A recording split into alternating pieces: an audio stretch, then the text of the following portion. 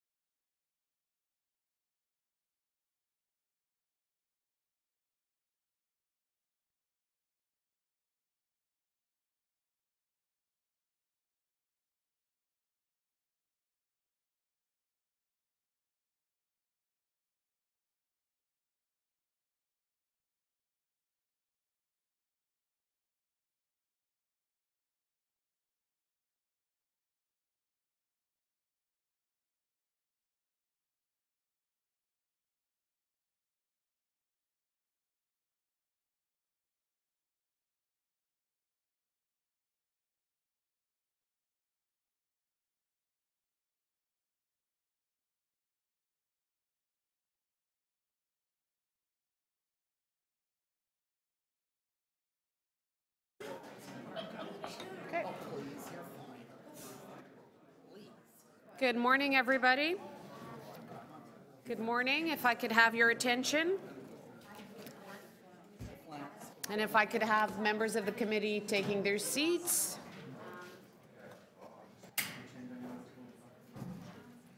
Great. Uh, Welcome uh, to meeting four of the Planning and Housing Committee. Welcome to the members of the committee, uh, to members of council uh, in attendance, and to the members of the public. For those in the room with us, the screen at the back of the room provides real-time updates concerning where we are in the agenda and what's coming up next. You can follow the agenda and debate on your computer, tablet, or smartphone at www.toronto.ca/council.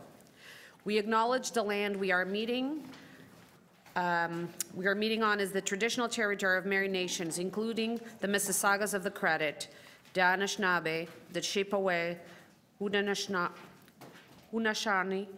the Wendat peoples, and is now home to many diverse First Nations, Inuit, and Métis people. We also acknowledge that Toronto is covered by Treaty 13 with the Mississaugas of the Credit. And now I call for any declarations of interest under the Municipal of Conflict of Interest Act. Seeing none, members, I want to take a moment to remind you that when you declare an interest under Municipal Conflict of Interest Act, you are now also required to file a written declaration with the clerk. The clerk has provided blank forms to every member's office, and I ask that you complete and bring them with you to meetings each time you declare an interest. If you forget to bring your form, the clerk's has staff and uh, the clerk's staff can provide you with one, which you should complete and submit before the end of the meeting. If you need more information on your obligations under the Municipal Conflict of Interest Act, I would refer you to the Integrity Commissioner's Interpretation Bulletin. I believe the clerk has a few copies as well. And if you require advice, I encourage you to reach out to the Integrity Commissioner directly. Okay, can I have a motion to confirm the minutes of the meeting of March 20, 2019? Councillor Wong Tam, all those in favor? That carries. Uh, now let's look through, go through uh, the agenda. Item 4.1, Don Mills Crossing final report. There's deputants. Item 4.2, Toronto Heritage Grant Awards. Councillor Fletcher moved that, moves that. All those in favor? That carries. Item 4.3, Golden Mile Second, Can we uh, just hold that one as for 10 oh, I'm sorry. Um, We won't be able, to. we can't deal with it until 10 a.m. S- uh, But I have acknowledged that we will vary the order of paper if uh, is the will of the committee to have uh, the Golden Mile right after Don Mills, because the members that have interest have Civic Appointments Committee. So uh, Golden Mile Secondary Plan Study, Proposed Boundary Expansion and Status Report, that's item 4.3, and that will follow item 4.1. Item uh, 4.4, Official Plan Review, Draft Transportation Policies and Consultations. There's speakers on that. And item 4.5, Committee of Adjustment Panel Size and Structures. There's also speakers on that. So w- with that, we will start. This item, we have four minutes before we get started on it. Oh. So, um, we have four minutes, uh, that we can't start, uh, item four point one, uh, until nine forty-five. Uh, If the will of the committee, we can deal with, uh, the Golden Mine Sec, Mile Secondary Plan. Is that okay? So we'll start with that one. And uh, speakers, we'll start with speakers on, and I remind, uh, just one more time, we're now starting with item 4.3, that's Golden Mile Secondary Plan Study, Proposed Boundary Expansion and Status Report.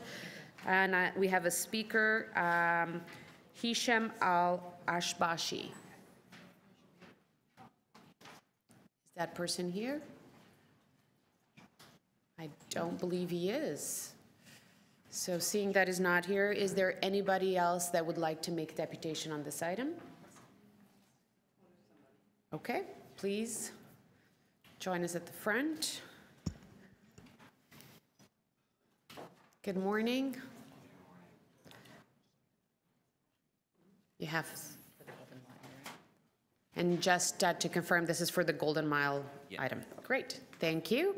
Go ahead, you have five minutes and the clock is right there. Thank you. So my name is Michael Vanny. I'm a planner with the Weston Consulting Group. I'm here on behalf of the owners of 1460 Victoria Park Avenue, um, Vitmont Holdings Vic Park, Inc. We had submitted applications for rezoning last year, which was deemed complete um, about a month ago. Um, This is one of the uh, properties that's proposed to be added to the secondary plan area. We just have some concerns in terms of that property being added to the secondary plan area and what that would do to our application that's currently in process. Our application is just a rezoning and will be a future site plan and condominium application. It is consistent with the official plan. We have considered the applicable O'Connor design guidelines in the area, and we just want to ensure that moving forward, um, It is our preference not to be within the Golden Mile Secondary Plan area. If we had to be added, we would want to ensure that the processing and the, of that secondary plan expansion would not affect the processing of our application. That's it? Okay. Questions of the deputant? What address? 1460 Victoria Park. It's Oh, on the, that's uh, the site that's been vacant for like 20 years? yeah, And, uh, and you've got an application for, there's an application in process right now. It's a 106-unit, nine-story condominium building with retail at grade. does the, does the new road go through your property? No, there is, um, to the north side, there is the potential for um, pedestrian connections as part of the um, urban design guidelines for O'Connor. Okay. Uh, Any further questions of the deputant? Seeing none? Thank you. And uh, we do have one additional speaker. Um, uh, Ebony Menzies? Ebony? No, not here as well. Okay. No further deputations on this item. Questions of staff? Councillor Denzil Minnan-Wong, uh, Deputy Mayor. Can staff put up a a diagram of the, what they're considering?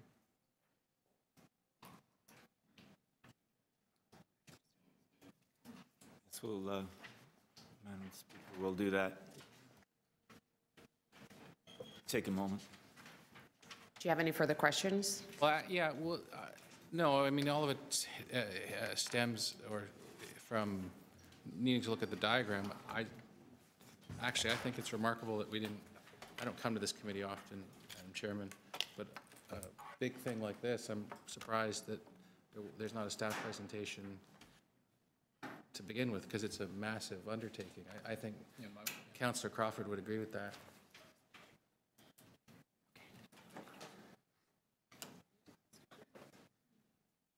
Anyway, I, is- can we staff do a presentation? You want a staff presentation on this?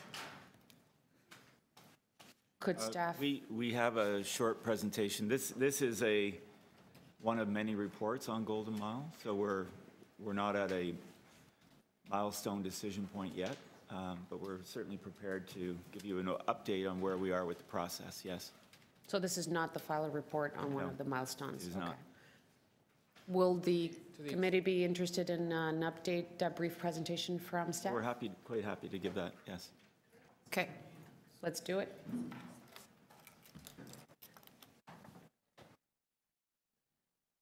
Is that- Okay.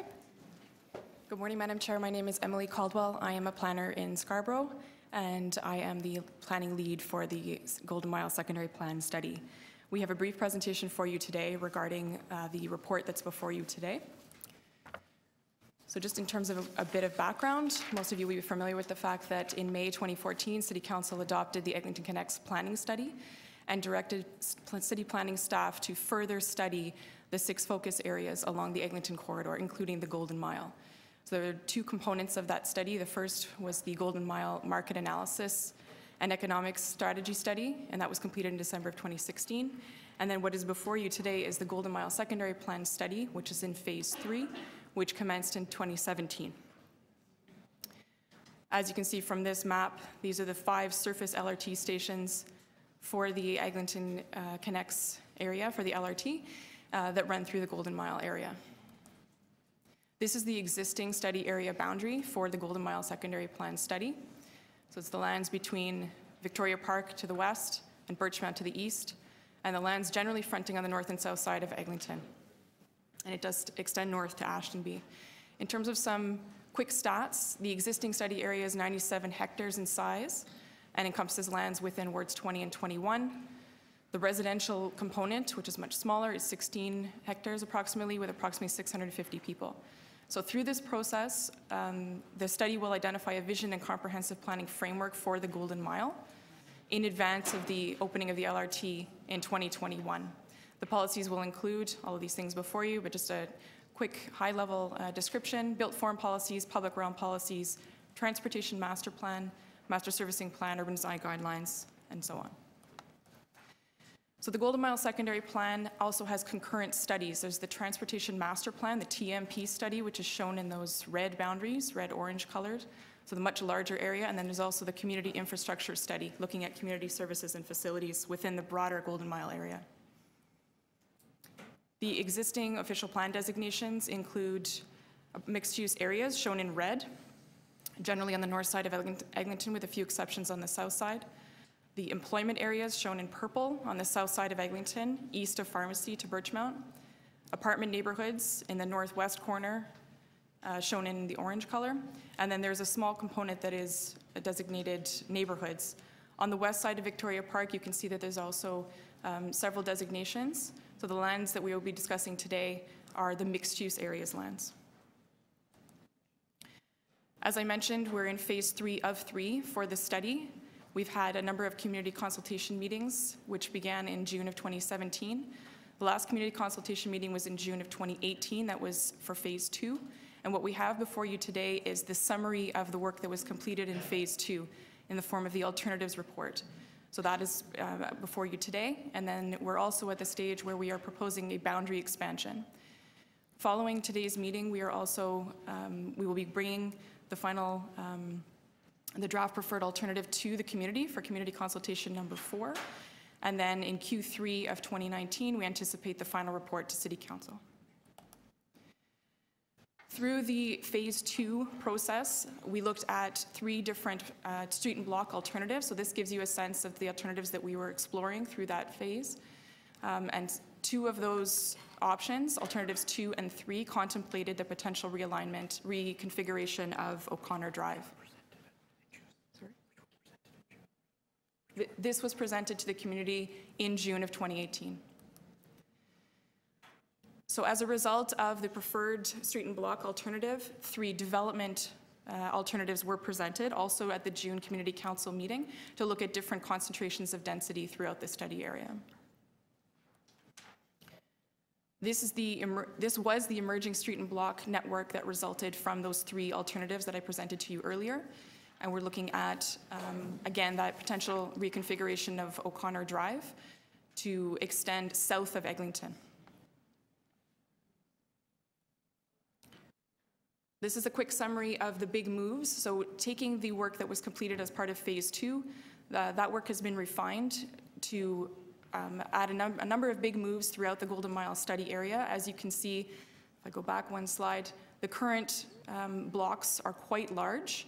The Golden Mile Boulevard, as we're calling it, would be a new east-west street north of Eglinton. So on, in this version, it's currently showing a jog at Hakimi. There, right in this location here.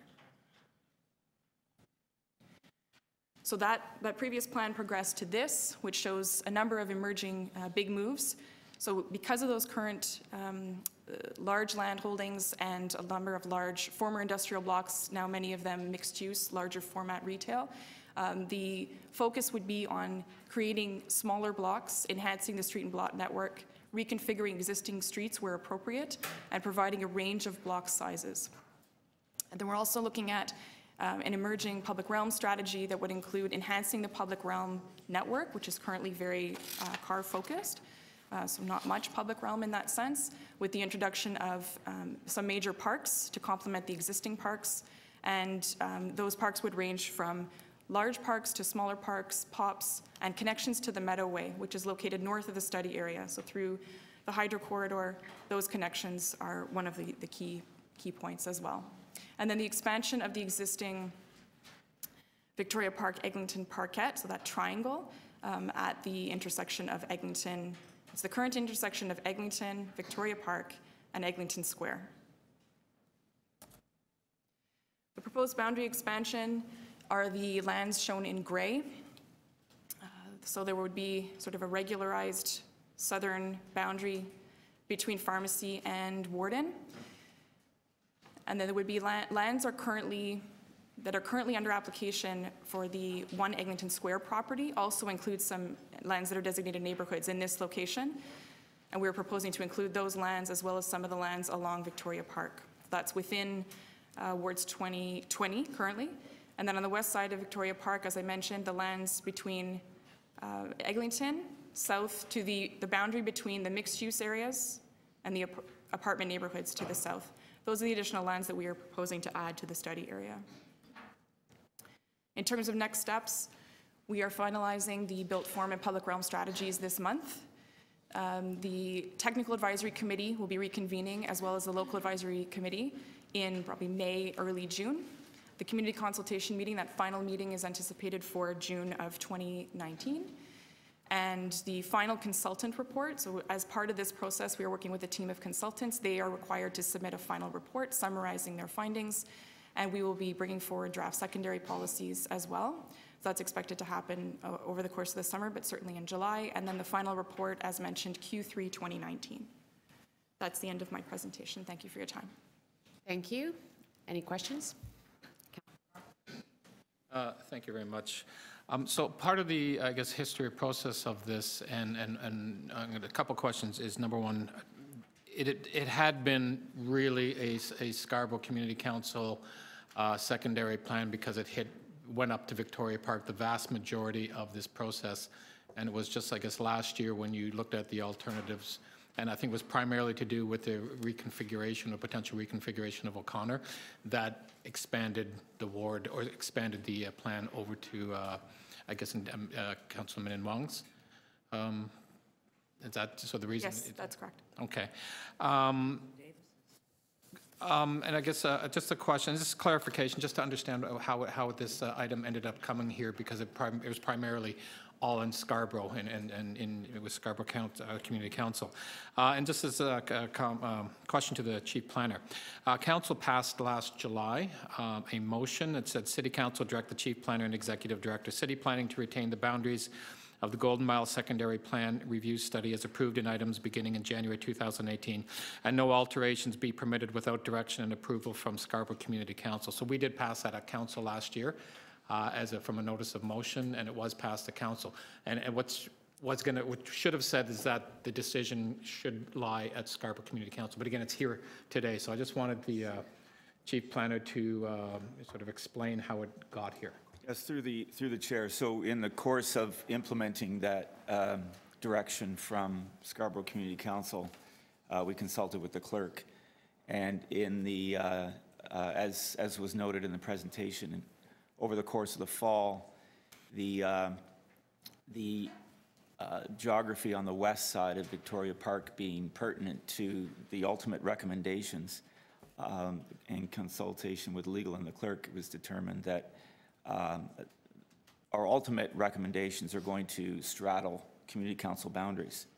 Uh, So notwithstanding that we had that direction from Scarborough Community Council, uh, the procedural bylaw would call for the matter to be considered by standing committee, planning and housing now configured. And uh, so basically, we wrote a report to come back here uh, to restart that conversation, mindful that we had that outstanding, uh, you know, direction from Scarborough. So we're essentially seeking uh, go-forward clarity from, from council on, on the matter being processed in So- accordance with the procedural bylaw, or if council determines in, uh, in some sort of other variation. Okay. So just to be clear, again, and this, it was a decision of council, not uh, community council last year. So that, that superseded, or the uh, procedural bylaw superseded the decision of council. Yes, in trying to advance that, we consulted the procedural Hence, that's bylaw. why, that's, Yes. hence that's why it's here. Okay, thanks. Thank you. Councillor Denson, uh, Deputy Mayor Denzil Minnan-Wong.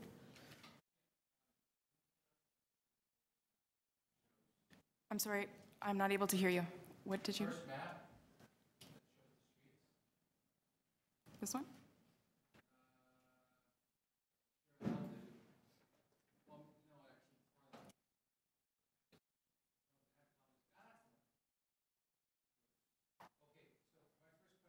Sorry, now you can hear me better? That's perfect. Yeah, um, the first question is, you said there were, uh, there's been a number of community consultation meetings. So this, uh, this, um, how many meetings, were were the people, anyone in North York given notice of these meetings? Yes, they were. And were they told that the road was being re- reconfigured, or did it just say, um, word, this has to do with the Scarborough secondary plan? So the three options, yes, the, there's two questions in there. This was the, the notification area for community consultation meeting number three, which happened in June of 2018, which include lands on the west side of Victoria Park. At that meeting, we discussed these No, no. three alternatives, Madam which Chair, show, Different question.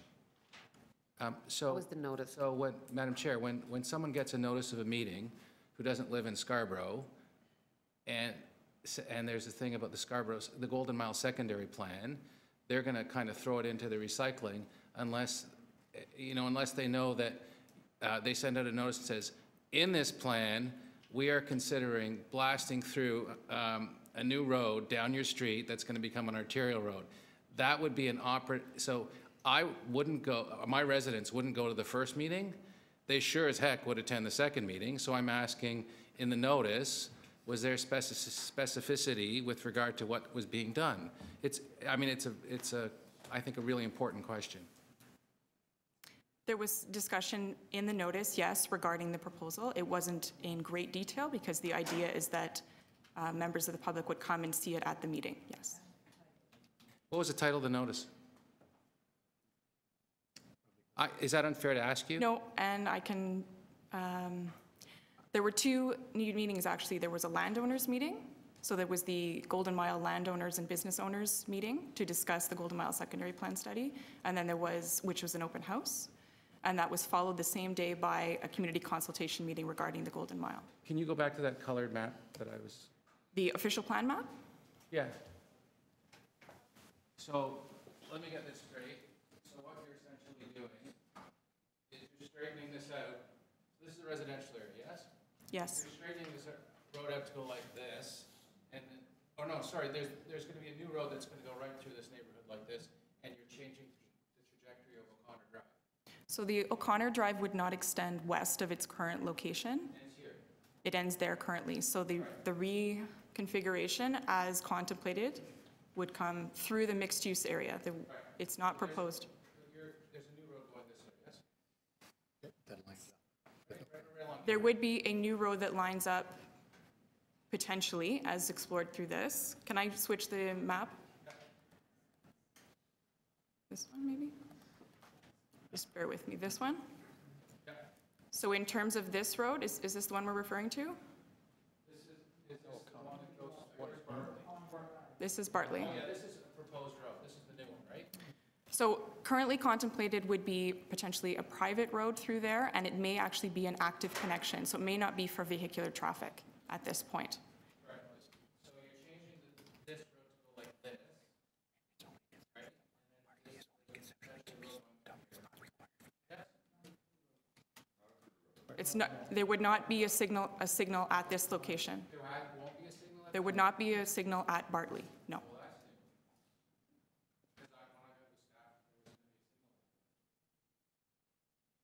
I'm not familiar with that conversation, however, And just I'll leave just it at to, uh, just to supplement, these, of course, are all proposed. This is part of the proposal. So certainly the feedback from the committee and the community as we continue to develop these options, you know, is, is, is certainly welcome as we, as we move this forward.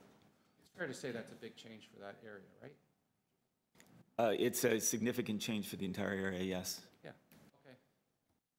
Just If I could uh, also uh, assist the deputy mayor in his uh, question with respect to the notice. The notice, uh, uh, we just pulled it up off of line because I don't think the planner uh, had it, had it available. It was entitled Renew Golden Mile. And in the summary, because obviously the notice is one page, in the summary on the notice, um, there was a map. It did not show the proposed road network because of the condensed nature of the informa- information. It did uh, summarize, however, that the consultation will be about uh, updating the status of the study, the emerging street and block network, uh, potential development alternatives. So again, it's a summary only. It is not the specifics. I just wanted to help the deputy mayor with this. Thank you, I appreciate that. Great. Thank you. Councillor Fletcher? Um, yes. Where was the meeting the meeting, that? the meeting was on Pharmacy, north of Ashtonbee. So just, just north of the Golden Mile area. Generally, this is Pharmacy here, so it was approximately here. There were a number of meetings. There, that was the third meeting that was there, yeah. Where were the others? The other two? It's just off the map here. It would have been St. Clair, just east of Victoria Park. Down in there, okay. And um, just questioning the, I guess I'm, when you put up the big map with all the zoning on it, if you could just go to that. The zoning or the official plan? Yeah, back to the employment mixed uses. Yeah, Res I can do that. Yes, I can do use map, there we go. So that was the, well, the former Golden Mile, which was in car dealerships and indu- industry. So you've got a fair amount of employment zoning there, mixed-use zoning.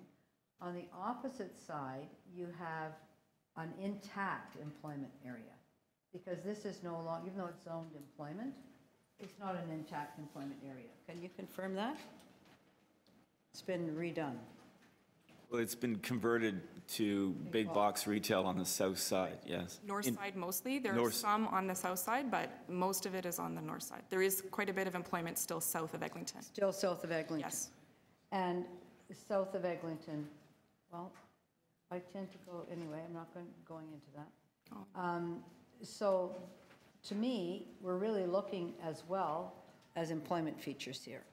And what takes place on this side as far as traditional employment, and maintaining high-value jobs, uh, I don't know if that's the intent of this study. Yes, it looks uh, like a street grid, It doesn't look much like an employment area anymore when I see that. Yes, the, the concept is to continue to support that employment investment and also to now promote residential and mixed-use identification in the appropriate locations. In accord- in accordance with the official plan In accordance with the designation. So we're not we're not recommending seeking redesignation. redesignation. So that, that's the land use pattern, just to supplement. That's the land use pattern and superimposed with the street grid to improve connectivity and, and uh, cre- create complete, uh, a complete transportation network. I see, but the pressure will be on, there'll be pressure to rezone right on the uh, Eglinton for everybody, because it would be pressure for residential, so people are moving along Eglinton. You've got That's, highway I trans- mean, e- essentially, that's with the advent of the uh, LRT. Yes, Um, That's the whole intent of the secondary plan, is to get out in front. We, we have had applications, there are a number of applications. I- But to I- get out in front and to shape and inform those applications, so we're just going to go back to, well, not that. That's who's in there. And where, what are you calling the employment south, Employment on the south side? Apologies, Counselor, what was the question? What type of employment is it on the south side? Currently, it's, uh, there's general employment um, fronting onto Eglinton, and further south, there's core employment. So where would you, so, and we'd say that technically the Bermondsey O'Connor uh, employment area is a core employment area. So I think I'm concerned about a spillover of pressure on the core employment.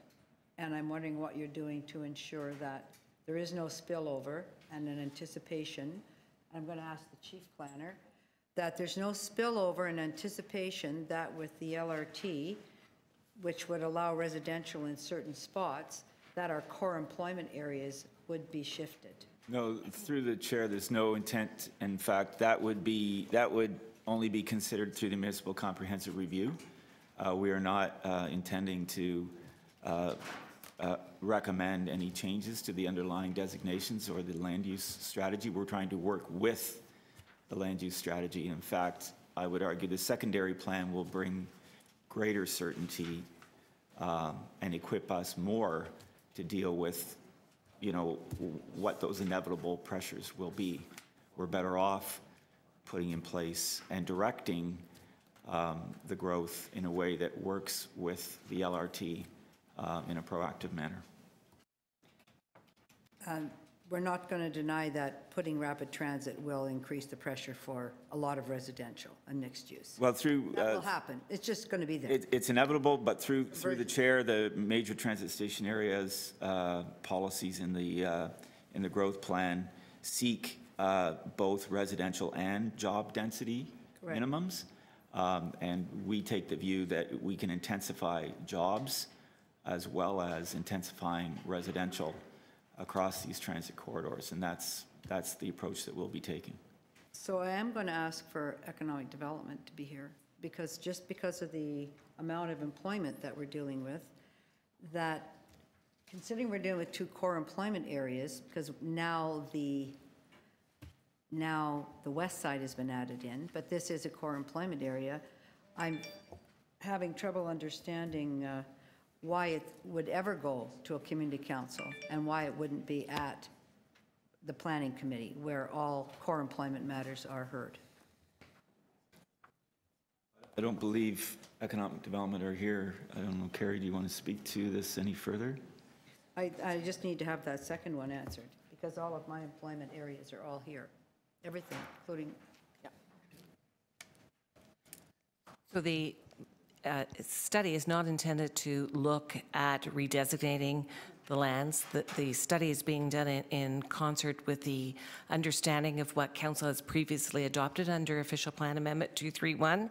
Certainly, I acknowledge, um, councillors, you have indicated that when we come to do the next MCR, there will be pressure on all lands around transit, and we will have to do our due diligence and look at where we should be converting lands, where it's appropriate, but also be putting in uh, policies again to protect for adjacent employment lands.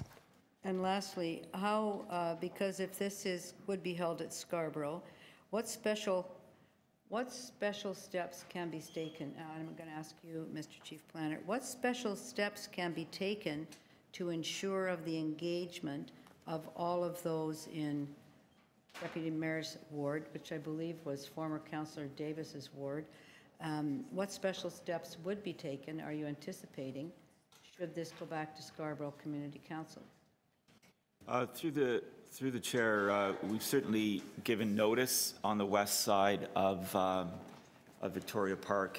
Uh, We can, um, and be very happy to uh, sit with uh, the deputy mayor and look at the, uh, first of all, the, the the consultation boundaries for the notice to, uh, to make sure that we've got the right geography uh, as the consultation continues. And then um, if the matter was to continue at Scarborough Community Council, um, there likely is a way for um, a report to also be uh, produced for North York Community Council if there is a desire for that to take place, so that North York Community Council can weigh in with whatever perspective it may have. So that, I mean, the difficulty will be that we can only have one statutory meeting, but I think if there's a way to fashion, and I understand there's been some discussion between the deputy mayor and the local councilors around how to fashion a process that would have some advice coming from the North York Community Council um, at that statutory meeting in a way that um, the input um, um, can, can be managed. Excuse me. Uh, let's- Is there a stakeholder group? You mentioned a land users group. There's a local advisory committee, which includes stakeholders, yes. And how many people are on that from Deputy Mayor's ward? That's a good question. I don't think there's any. I don't think any at currently. So we have a little problem, don't we? They, they, I'm sorry? Could you repeat the question? There is nobody from. From the local advisory committee, Victoria no. Park. There were attendees at the um, community, I understand there might be attendees, but there are no specified members. That's correct. Local advisory group. And uh, even since you've put this, suggesting this other area in there, you've not gone out to select anybody? no, at that point, the- no, the community, the local advisory committee was already set at that point. That's, Well, obviously, we have to change that. And uh, you have possibility to have meetings in, special meeting for those people. I guess we all understand, do you understand that if that boundary is a pretty big wall, the Scarborough versus East York? So if it's happening in Scarborough and you live in East York, you don't necessarily, you're not going. The same, if it's in East York and you're from Scarborough, you're not going. So have you not contemplated special steps now? What, I'm going to suggest stakeholders on the local advisory, local meetings, should it go to Scarborough Community Council, that, that the East York side be very much uh, engaged specifically through the planning department. yes. All those things are possible, but they haven't been contemplated or done yet. The North York residents can certainly be added to, further to the discussion, I'm not yes. sure they're North York residents. They might be at North York Community Council, but that section at O'Connor South is East York, the part I see. So it's spanning two, Yes. actually, two community councils Absolutely. from And the so days. So it's very confusing already, and now we're making it more confusing. Okay, thank you.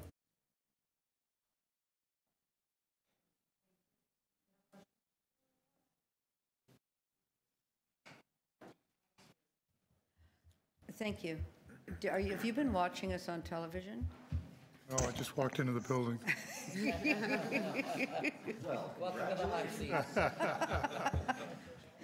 Quickly, quickly, uh, here's the map. Yeah, Oh, you're looking at that one. There's the map with all the core employment, and we're discussing if we can move the um, whole secondary plan to Scarborough Community Council. There's a conversation here. Somebody check me if I'm wrong. I'm just asking about the pressure on the core employment areas from this exercise and how that's been taken into account, including, uh, which isn't in the secondary plan, but the Bermondsey employment area, which is full 100% core employment versus the Golden Mile, which is very mixed with big box and other types of employment. So have you been consulted about this at all, or has there been any conversation with ECDF? some of our staff have been involved from our Scarborough office on this plan. Uh, I particularly have not had a deep dive on it. You not what? I particular, I personally have not been, done a deep dive on it, so. So it's one thing, it's, it's, I'm just wondering what the impact might be when we're thinking that of pressure on both sides, how to build that in.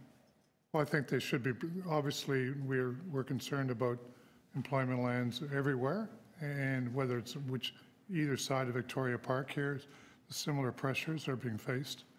Um, It's an important area uh, for job uh, growth and opportunity. Okay, thank you. Thank you. Any further questions of staff? Seeing none speakers, Councillor uh, Deputy Mayor Denzil Wong. Um, So we're trying to work on something, um, you know, Counselor Crawford and Thompson and I have been sort of busily drafting away, try, trying to come up with something that's workable.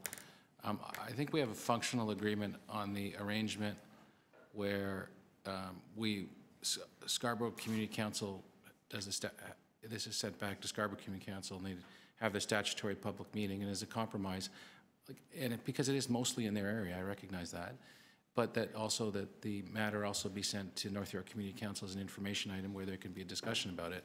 I think I'm okay with that.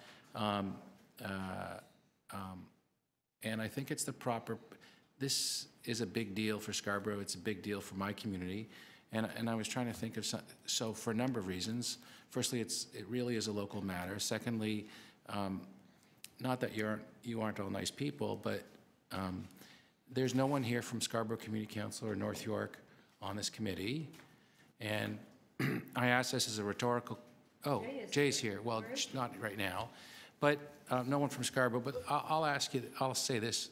If, if, um, you know, if they were trying to realign Gerrard Street, um, I think that's in Councillor, um, uh, Councillor Fletcher's ward, it would be a really big deal.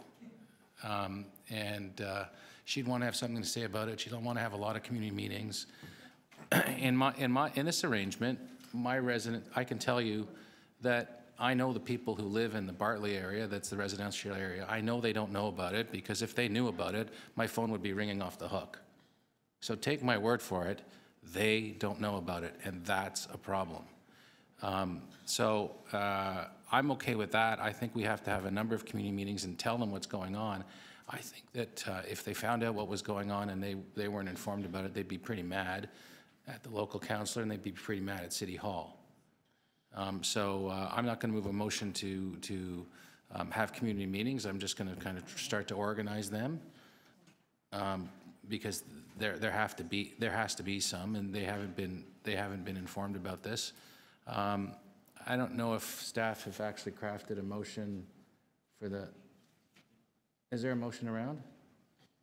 With respect to your discussions with the... Councillor Crawford, yeah? Yes, I believe the clerk has a motion.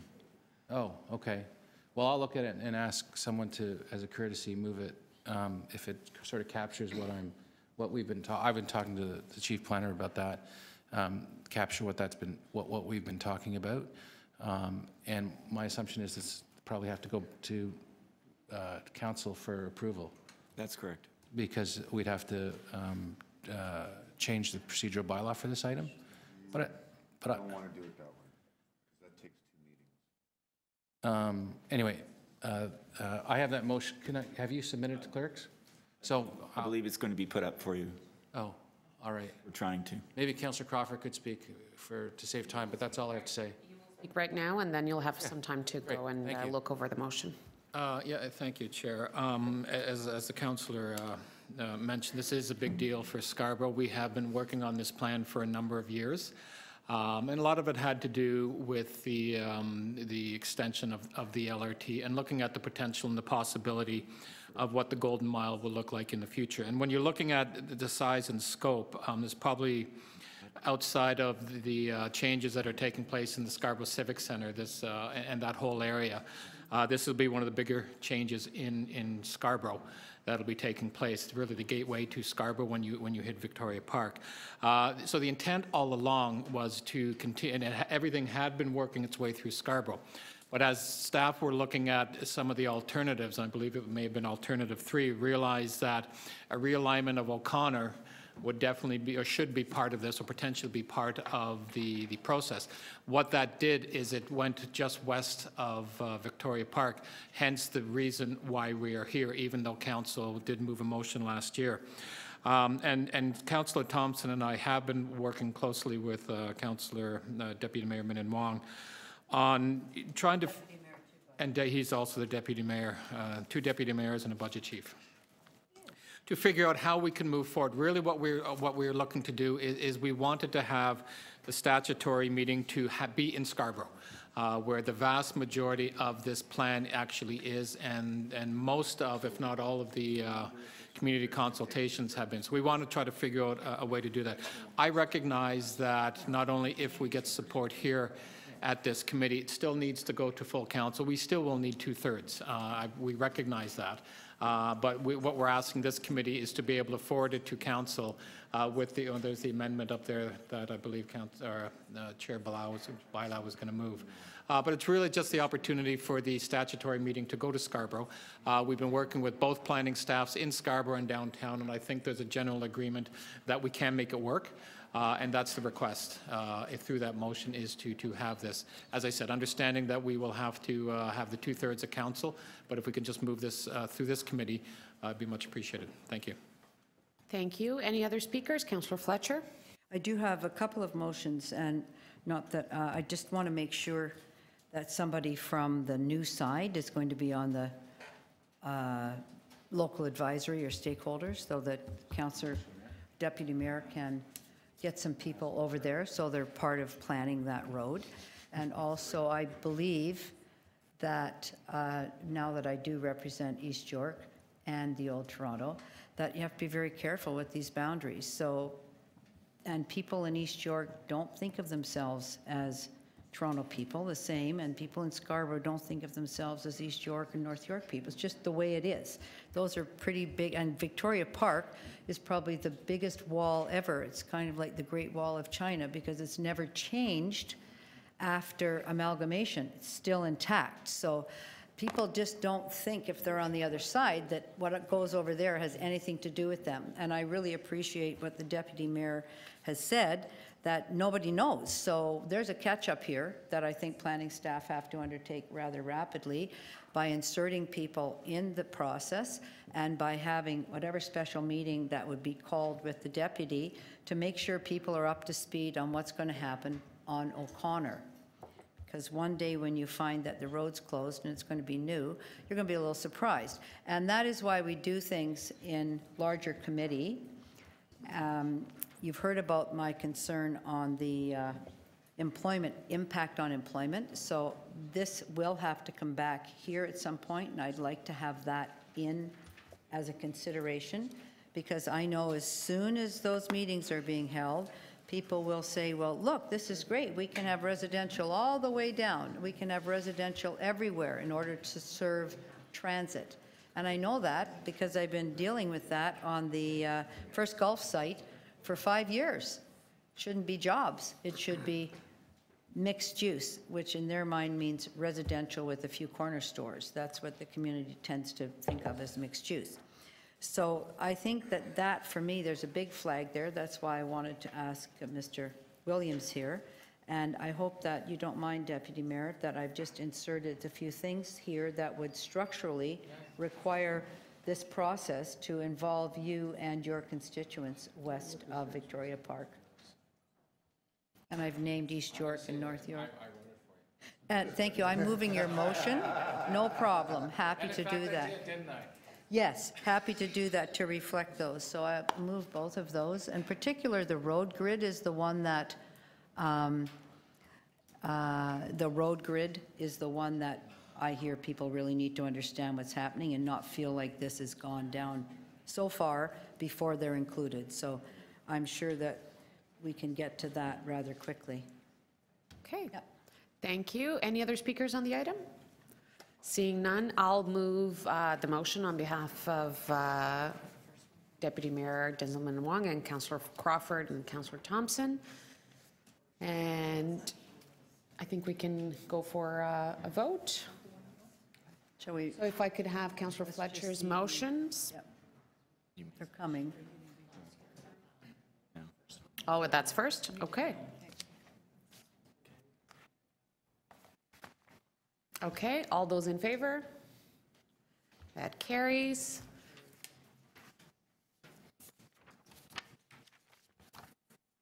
Next motion from Councillor Fletcher, all those in favor? And that carries. And the last motion, all those in favor? That carries. Item as amended, all those in favor, and that carries. Great, thank you. Next item. Sorry? Uh, Next item, Don Mills Crossing final report. We have speakers. If I could have Bruce Hall coming to the T. Everything's happening in your ward, Denzil. Good morning.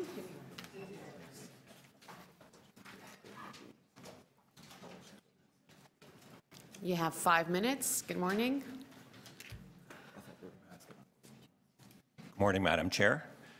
Um, My name is Bruce Hall, and I have with me my friend Chris Tanzola, and we are both here on behalf of the Independent Order of Foresters, or we'll just call them Foresters. And um, we're here in response to the um, proposal for the uh, Don Mills Secondary, Don Mills Crossing Secondary Plan. Um, Foresters is the owner of a large site at the corner of Don Mills and Rochefort Drive, and the address is 789 Don Mills Road. And that is a large site which runs uh, east all the way from that intersection to Ferrand Drive. It's about two hectares in size, and their property is comprised of three main elements. Their 23-story um, office tower, which is a named building, it's hard not to miss, um, and a detached uh, podium. There's a four-leveled structured parking garage in behind, um, which is accessed by Forester's Lane, and a large surface parking lot, which runs all the way over to Ferrand Drive. As a property owner and a major tenant in the building, Foresters has remained very active um, and kept abreast of a number of recent planning initiatives, including the Don Mills Crossing Secondary Plan, which affect this site and the area and um, the other initiatives, larger employment areas in general. The impetus for doing this for Foresters is several-fold. It is the headquarters of their operation. It's an active office building, and they want to ensure the viability and functionality of that going forward, as well as the ability to undertake an upgrade or enhance that function. They are a significant stakeholder within the secondary plan area, um, specifically the southeast quadrant of Eglinton and Don Mills Road. Their lands represent about 36% of that area, and they are the major employment focus in that area with several thousand jobs in that building. At the same time, their overall site represents opportunities for significant redevelopment and intensification in accordance with the secondary plan. Um, This is a very well-located site from transportation perspective, the new Eglinton Crosstown, Don Mills, and the Don Valley Parkway. It's somewhat underutilized in its current form because it has these large um, areas in behind, and there are opportunities to um, enhance it in the future to become more transit supportive and contribute to the completeness of this emerging community. The rear portions of this site do represent opportunities to intensify through the structured parking and the vacant parking lots, and this would help enhance the overall community in terms of the streetscape and the public realm and the general character. In terms of the, and it's possible to do this while maintaining the employment function. In terms of the Don Mills secondary plan, it's establishing a comprehensive framework which supports this concept. We commend staff and the, and the stakeholders on the planning process and the product that achieves uh, this and the time and energy that's gone into it. We've been actively involved throughout the process, been to several meetings and open houses. We've reviewed all the documents report. We've met with staff on several occasions and reviewed their recommendation analysis and had a lot of collaboration with them. S- Staff was available and open to discussion and consideration and made accommodations in response, in response to our concerns. And when I say concerns, ours were largely matters of clarification related to issues of height and density and flexibility. We were also concerned that a large part of the density that was being allocated um, would be used up um, on other sites um, and uh, by the existing residential and office, the Sonic condos, which are under development, and the Create TO site under development. We also were concerned that other sites would inequitably use up density um, that could properly be used uh, with the redevelopment opportunities on Foresters in the future. Staff mitigated these concerns by separating out the Create TO site, um, uh, which allowed us to, you know, um, uh, properly calculate the density uh, on the future site in a fair and equitable manner um, and recognize the structured parking and surface parking opportunities. Um, They also acknowledged um, the large areas being a context plan area, which um, requires as a part of a complete application in the future to demonstrate conformity with the secondary plan and comprehensively address all matters of site building and urban design. Um, Overall, we appreciate staff's willingness to work with us in a collaborative manner to resolve our concerns in a fair and equitable way. Um, With the exception of some remarks my friend here will make, we really support wholeheartedly the adoption of this secondary plan, and thank you very much. Much. Uh, Christopher? Sure, thank you very Oh, much. sorry, questions of the deputant. It- It may make sense for me, I'm going to just follow the theme, and it may make sense to ask questions to both of us, but it's obviously your committee and not mine. Okay, go ahead, Chris. Um, Thank you very much. My name is Chris Tanzola. I'm the lawyer for Foresters, and I've been involved with their site um, for a few years now as various planning initiatives have come forward. And um, one of the uh, the mandates that I've had is to just, uh, in consideration that Foresters is a a large employer and landowner in that quadrant, just to make sure we're paying uh, attention to the planning processes and making sure that uh, the, the public planning that's being done is not, um, is not unduly hindering the future potential redevelopment of this site, given that the opportunities that do exist, which, uh, as, as Mr. Hall has said, have been recognized by staff in the secondary plan, and we, we very much appreciate the willingness of staff to work with us in clarifying the way some of the density allocations were made and the ways the context plan uh, feature of the secondary plan functions. And, um, and so I wanted to, to pick up on that and thank staff for that. Uh, What that allows foresters to do is to uh, have flexibility for the future. They have, they have occupied this site since they built the building in the 1960s. Uh, They have, uh, they are the main tenant there. They have 800 employees of their 2,000 total employees in that building. They have 35 tenants that they are the landlord for. And uh, as a, as a owner and a landlord, we just want to make sure that there's flexibility for this site as we move forward. And we think that the secondary plan, in terms of the, the built form principles, uh, is, is doing a good job on that, and we are supportive and, and thank staff for that. Um, We do have a concern that we, we put into the, the correspondence that's on file with um, a, a piece of the secondary plan, um, uh, but also uh, the Heritage Assessment Report that came forward. And what we're asking is just to make sure that the dialogue, the productive, open dialogue that we've had, had with staff on the built form principles and the density principles that that would continue for any, any future heritage consideration for this property, to make sure that uh, anything that's being done with respect to heritage would, uh, would involve us in a direct discussion to make sure that we can continue to operate that site uh, as a modern office building and, uh, and make sure that the development potential for that site is, uh, is, is realized in the future.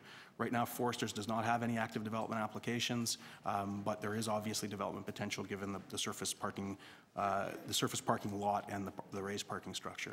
So again, thank you to staff and thank you to the committee for, uh, for paying attention to our deputation.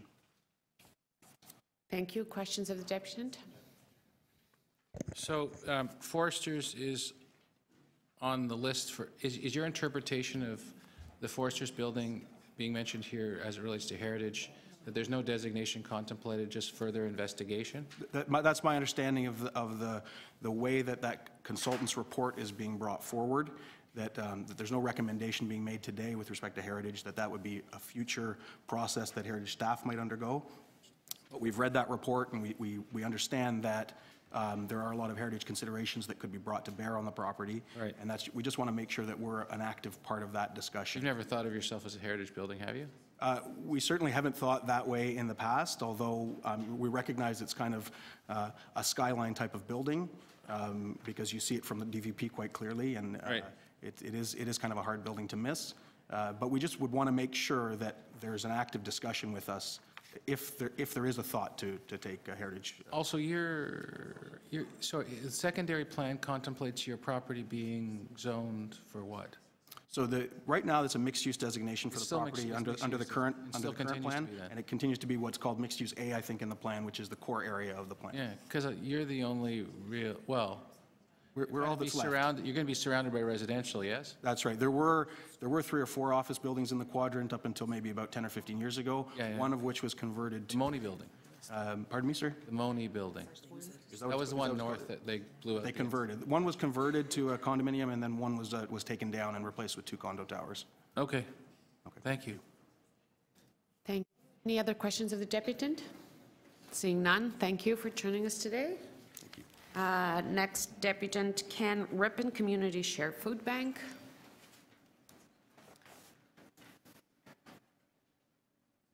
Good morning, Ken.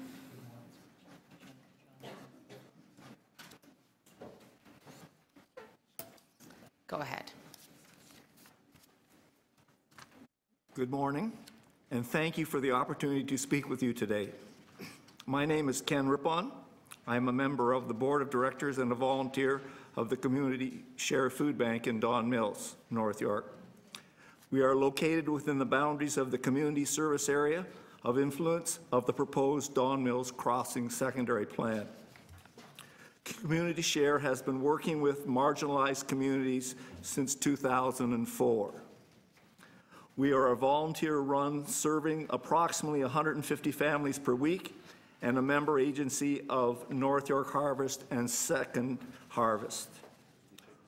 Over the past 14 years, we have seen a major recession, the Syrian refugee crisis, new immigrants such as doctors, dentists, veterinarians struggling to find entry-level work anywhere, let alone in their chosen profession isolated seniors, single-parent families, the list goes on. While Community Share serves a a diverse clientele, they all share socioeconomic challenges such as barriers of accessing affordable housing, decent work, and limited social services that have led to poverty and food insecurity.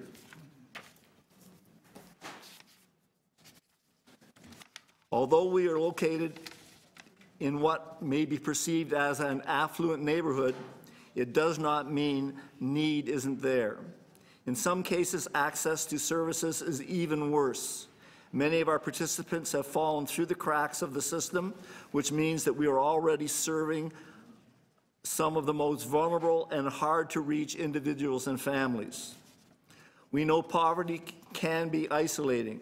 We also know that food has the power to bring people together, which is why we have been working in partnership with other agencies and health centers to offer cooking workshops and community kitchens on a regular basis. This past year, we have started a healthy snack program during food bank hours, and we are seeing firsthand how food is a great connector. In addition, we are dedicated to providing healthier food, hampers, and are currently developing a healthy food policy that will include ongoing practical education and support. Two years ago, the church in which we occupy space suffered financial setbacks and had to increase our rent substantially. We have been looking for affordable space since, but commercial properties are outside of our budget and other possibilities appear to be non-existent. What we have discovered is a lack of community services and support in our area. We were hopeful about the community space promised by the Cadillac Fairview project. However, new plans have allocated resources to the Don Mills Crossing area instead, and that is why we are here. As the Don Mills Crossing area begins to redevelop, we believe this is an important opportunity to secure community benefits such as community kitchens, a meeting space to be able to continue the work we do at Community Share. This may be our best opportunity to join forces, join forces with other service providers or resident-led programs to improve health and well-being and foster greater sense of community. Examples include nutrition education, cooking classes, meal programs, where our food bank can act as an entry point to other services, and a very meaningful way to address the complex issue of hunger. We are very pleased to see that pages 33 and 47 of the recommended secondary plan prioritize the creation of a multi-purpose, nonprofit community agency space. We are asking that the committee to ensure such a space would include a community kitchen, accessible to residents and volunteer-run programs like Community Share Food Bank, so that we can continue building on the momentum, momentum and the important strides that we have made to date. Community Shared Food Bank volunteers and board members have always believed that our food bank does not give handouts, but we offer instead hand-ups. This is what we do 52 weeks a year, every Tuesday and every Saturday. From April 1, 2018 to March 31, 2019, we offered hand-ups to 415 different families. This translated into 6,520 hampers. The 6,520 hampers mean 21,712 people were served with dignity and respect. In some small way, I have to hopefully, ask you to we wrap can up, open the sir? doors so that we can also share Sir. the Canadian dream. Thank you. I'm going to have to Thank ask you for to your wrap up. opportunity to speak to you Thank today. Thank you. Questions of staff? Councillor Robinson? No, of the, Um, uh, Never mind. that's okay. I know, I know what you mean. Okay. Um, My apologies, I have a a very uh, bad cold, but thank you for coming. Thank uh, you. Very much, Ken, and. I uh, know you know Diane well. I do, and I know a lot of your contributors and volunteers, and I have to just acknowledge the work that you do in Don Mills and beyond. Uh, It's very impressive, and I know it's fully volunteer-run, so thank you for that. Uh, I guess I'm just trying to get at exactly what you're looking for today, so I think you can help me. The question is, you you mentioned a multi multi-purpose community facility, uh, hub, and you would like, you would like your organization, Community Share, to be part of that?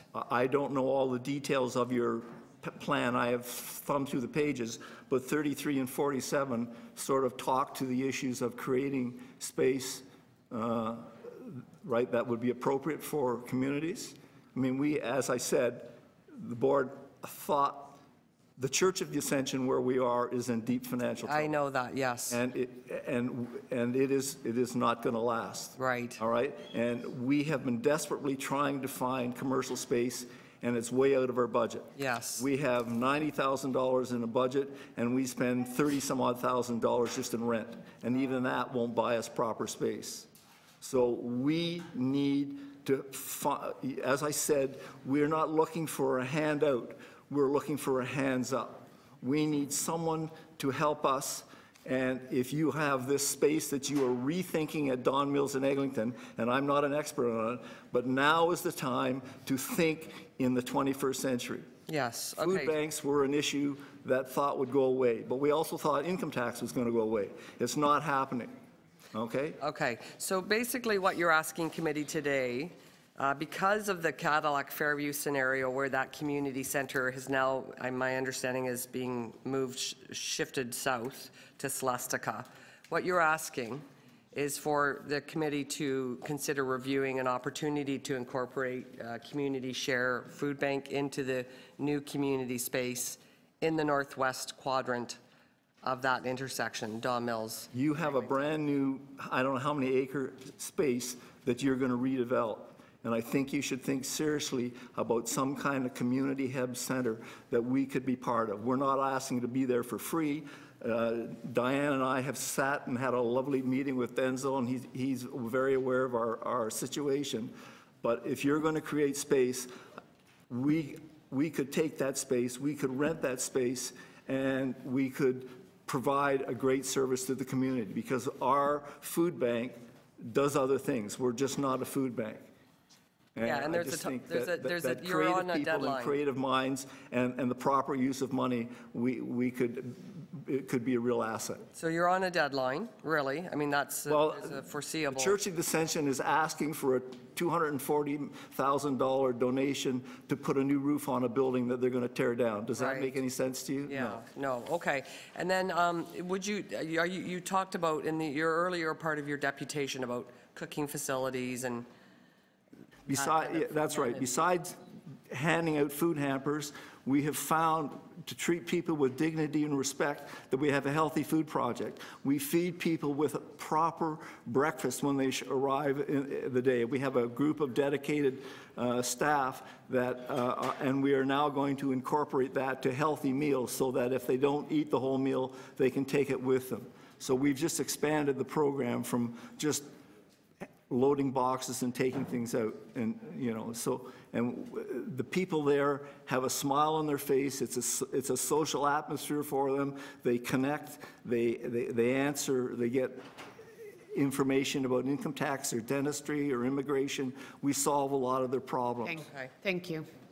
Thank you so much. Any other questions of the deputant? Seeing none, thank you so much. Thank Anyone so else much. that would like to uh, speak on this item? Thank you.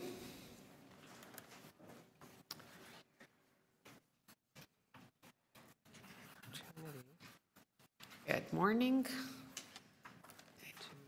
Good morning, Madam Chair. My name is Jeff Cattell. I'm, today we're in the hat of uh, Cycle Don Valley Midtown, which is the uh, Cycle Toronto branch from Ward 15, Ward 16, um, under the new setup. Uh, So basically, I'm talking about um, improving opportunities for active transportation, and in general, the, the plan does a good job. Um, The plan identifies um, some of the, you know, issues being in a suburban part of the city, there definitely are issues for active transportation under the present, at the present time. It's, it talks about the study area exhibiting poor connectivity in pedestrian and cycling networks, which is attributed to the lack of local streets and the presence of cul-de-sacs, discontinuous sidewalks, and sidewalk and cycling facilities with physical barriers like the, the valley, the ravine, um, and uh, recreational trails located along the Don. However, there are few, lo- few locations where trails are not continuous. Safety is another concern, especially uh, crossing the major intersections at, at uh, Don Mills Road and Eglinton Avenue. So the, the, what does the plan do about this? The plan addresses this, but only in part. It proposes to connect the Don Mills Trail from the north with the Don Mills Trail from the south via a new crossover, or under, of the CP rail line on the west side of the, of the Celestica site and utilization of the Cloverleaf connections under Eglinton Avenue. When implemented, this would enable a continuous north-south corridor for both commuter and recreational cyclists between North York, York Mills Road, and the Lakeshore. Fantastic. However, um, what I'm pr- proposing today is that there needs to be a safe cycling alternative to Don Mills Road on the north and east side of the plan area. A proposal has been submitted to this committee by um, a resident, Ron Kluger, and the letter's in the, in the file, for a bike pedestrian connection across or under the CP rail line on the north side for residents on the west and the east side of Don Mills Road. This proposal would extend Prince Andrew Place, which is currently a cul-de-sac, which ends near the rail line, with the Celestica project, thereby leading to the Don, Mill, Don River Trail, with a bike pedestrian connection over or under the CP rail track. So we um, certainly support the secondary plan as far as it goes, but believe it does not, not go far enough to connect the study area with the areas around it. We believe that the plan should resist treating the CP rail corridor as an impenetrable barrier. Instead, it should do its utmost to create porosity and increase opportunities for safe mobility for the residents of the project and its neighbors. So we, we um, request that um, the following, um, that Planning and Housing Committee recommend to Council that the Prince Andrew Place extension to the Celestica project, multipurpose and rail crossover, be incorporated into the Don Mills secondary plan. Thank you. Thank you so much. Questions of the deputant? Seeing none, thank you for joining us today, Jeff. Questions of staff? Uh, Councillor Robinson? Thank you very much, Madam Speaker, uh, Madam Chair. Um, I just wanted to ask about the, the, my beloved Don Mills Trail that I worked on for eight years, and really, we never were able to break out the south end of it due to landlocked issues. Clearly, we have a resolution here, which uh, is such a great news story. Um, I guess what's, what's the timelines? Because literally, we've waited, a, a trail was built without a completion without a connection way before I was elected. And um, that in itself is uh, kind of um, awkward, and the communities love the trail, but it does create safety issues at the south end of the trail. So my question is, what are the timelines for completing this trail so it connects both pedestrians and cyclists to the rest of the city, literally just south of there, and over to Sunnybrook Park? Uh, What is the game plan and what are the timelines? Because we've just waited forever for this. Through the chair, the, there's sort of two pla- places where the trail can be resolved. One is over to Leslie, and the timeline for that is tied to development approval for Inn on the Park. Um, It was secured through, um, or Section 37 agreement is being drafted to secure the resolution of the trail to come out to Leslie to be constructed down into the park. The second place the trail could resolve itself is to cross the rail corridor through the uh, Crossing secondary plan area into the ravine. That's arguably a longer-term timeline because it requires the development approval for the Wynford Green application to unfurl and an environmental assessment process for the design across the rail corridor and down into the valley. So the shorter-term resolution would be across to Leslie. Right. That may hit some hiccups, as you know, Councillor, uh, through the uh, potential for a uh, need for an expropriation and/or the demolition of a parking structure that kind of gets in the way. So hopefully, again, that unfurls to the development approval of the Inn on the Park site. Okay, so really what you're saying is there isn't, we don't have a, it's not a big ribbon-cutting date. Uh, I wouldn't want to place one on the calendar. No, not even close to that. I would rely on others uh, from potentially Transportation Services to answer that question, but um, I wouldn't want to place a hold in my calendar. Okay, and then what about the option of going into the Celestica property and, and what would the, what would the infrastructure look like to make that leap over the, the rail, the railway lands? So th- through you, Madam Chair, we, as part of the Celestica approval process, we did secure uh, uh, uh, Section 37 funds for, uh, for a rail, for a rail crossing. It is part of the approval. Uh, As my colleague mentioned, there is a, there's an environmental assessment that needs to be done to confirm whether that would be a connection over or under the railway tracks, but that, that, but that process, but that money and uh, design has been, plan has been secured. Okay, and uh, this is a different question um, related to uh, the, what, the deputation we heard from Ken. Uh, it- He talked about this multi-purpose, not-profit, not-for-profit community space. How is that different from the, what was to be the Cadillac Fairview Community Center that's shifting south? I believe it's shifting south. Maybe someone can give me a head shake. It is. Uh, wh- How does that differ, how does that differ, those two entities? He talked about a multi-purpose, not, not profit, not-for-profit community space. How does that differ from the community space that was being proposed on the Cadillac Fairview site? Brenda So- Patterson knows this file best, but she retired unfortunately.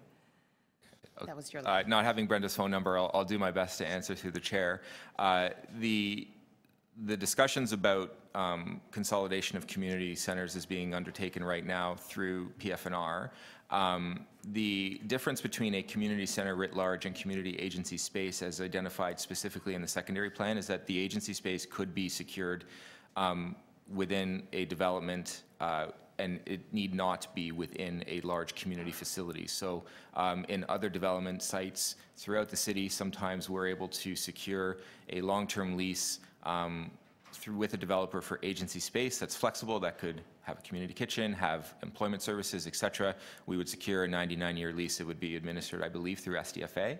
So, for example, if a mixed-use development were to come in with a non-residential component, agency space could be secured as part of the Section 37 agreement to accommodate um, community kitchen or, or any other non-for-profit. Does it have to be an agency? Sorry. Does it have to be an agency or just a community operation? It could be as long as it's a not-for-profit, but it would be Food-based, termed and okay. secured through an Thank you, Madam approval. Chair, for that. Thank you. Uh, Speakers, Deputy Mayor Denzil Minnan-Wong. Um, Yes, thank you, thank you, Madam Chair.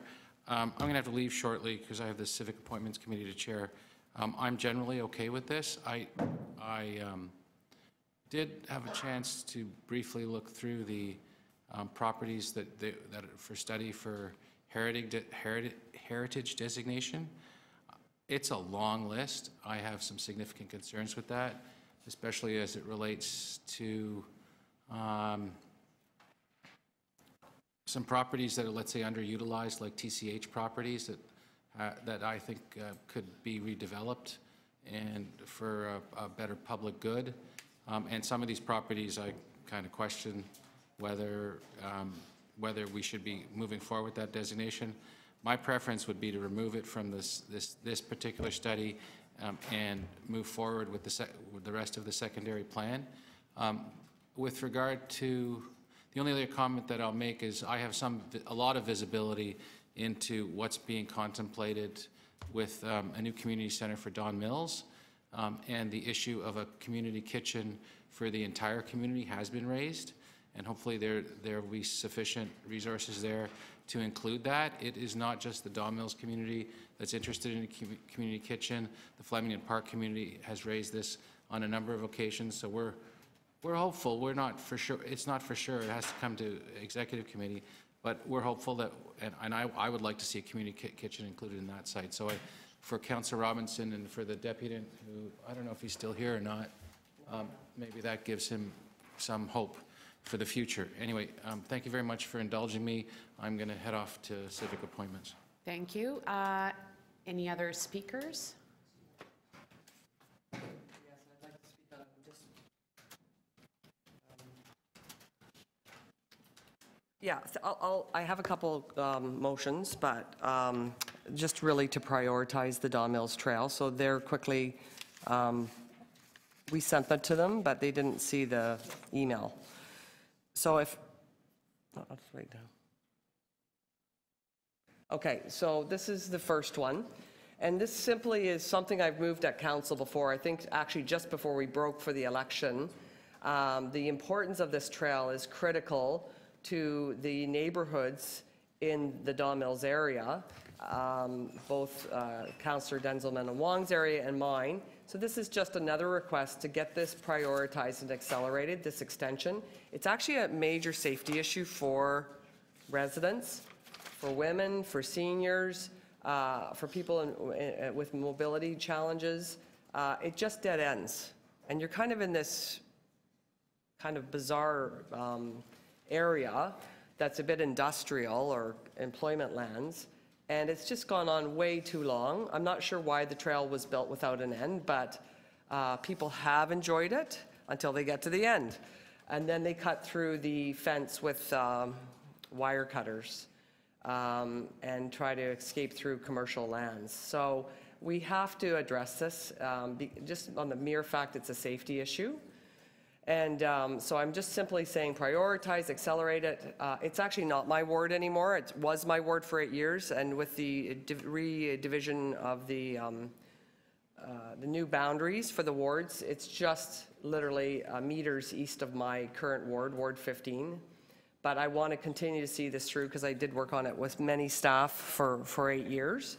Uh, I have two other motions. um, which Jeff Cattell alluded to um, in his presentation on the cycling request.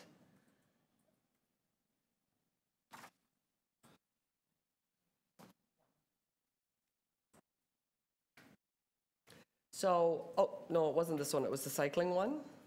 I can jump to this one. Do you do you have the cycling one? Okay, I'll jump to this one and come back to the cycling one.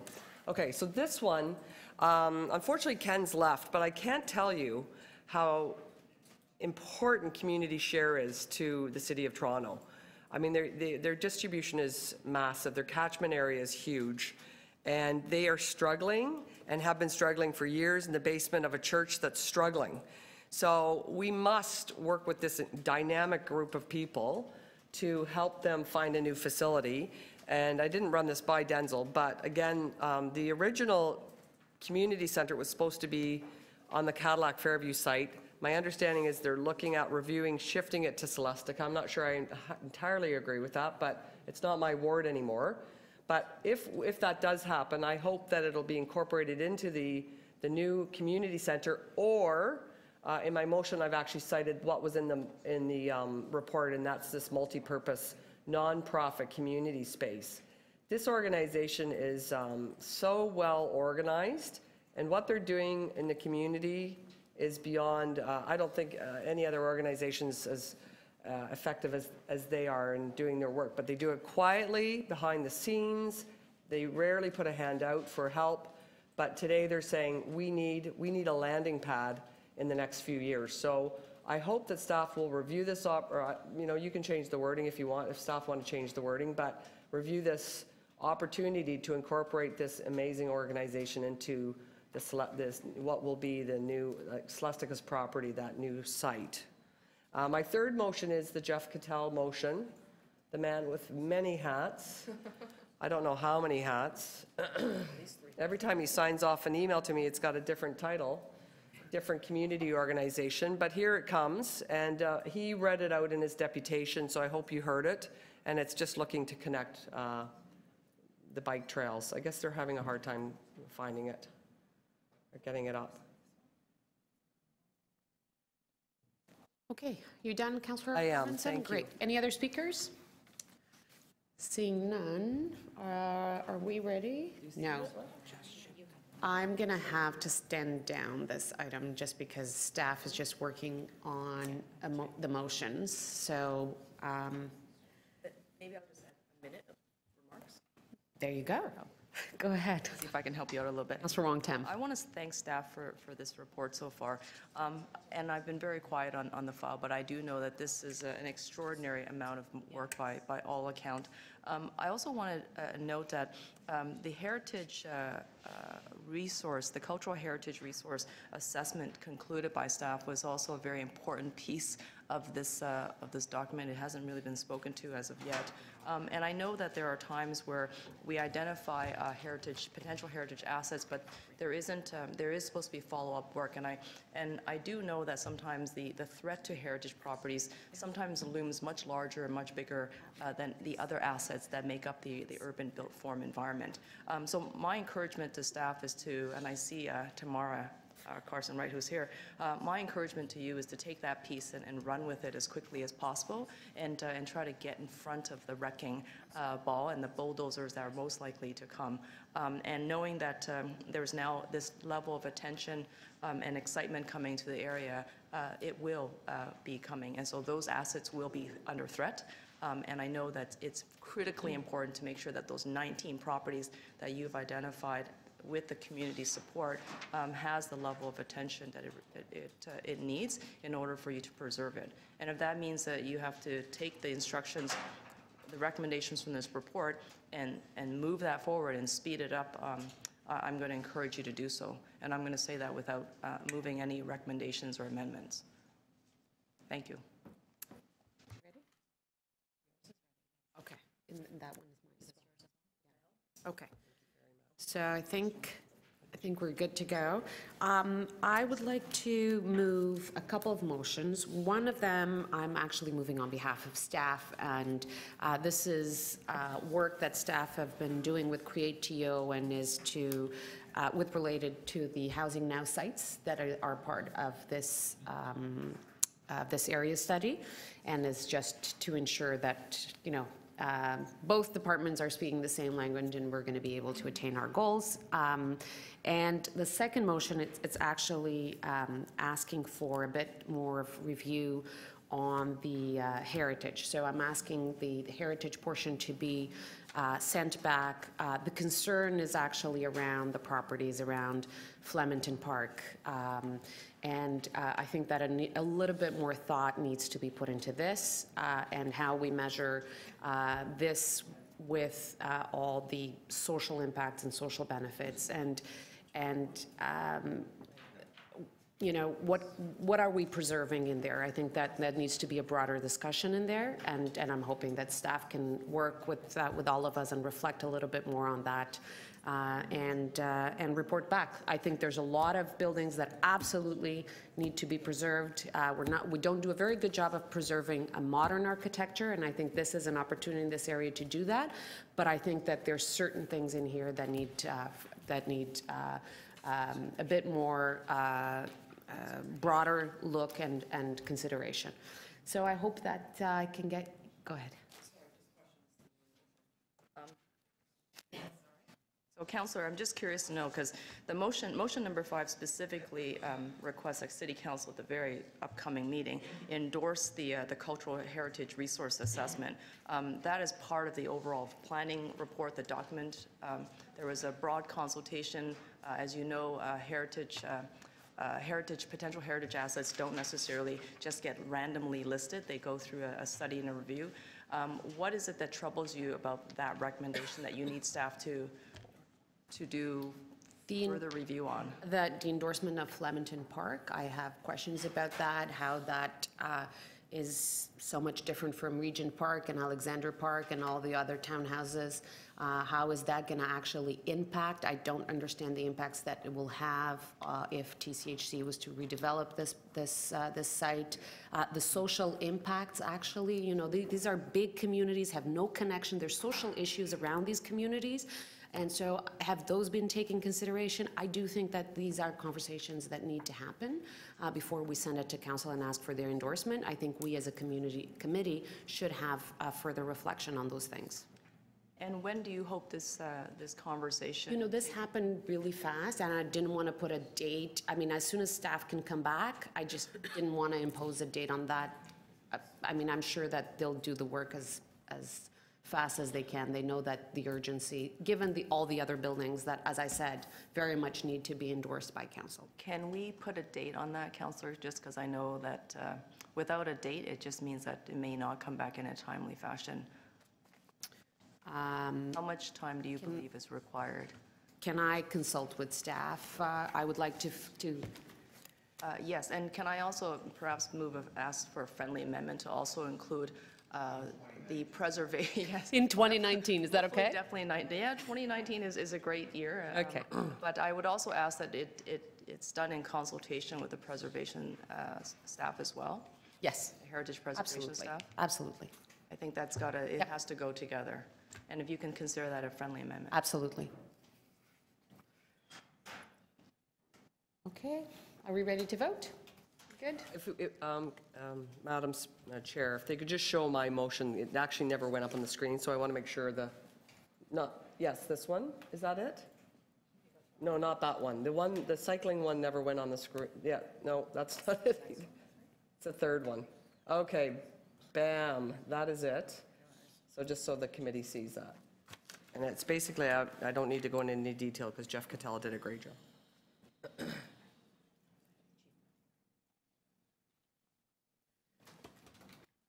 Okay.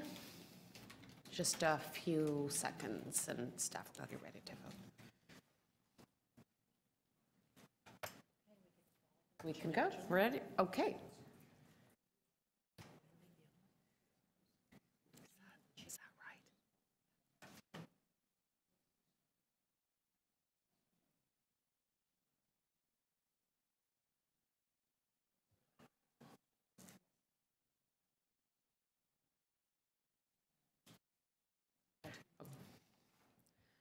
Okay.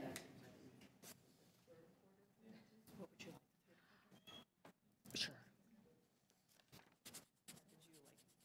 Four months to work with.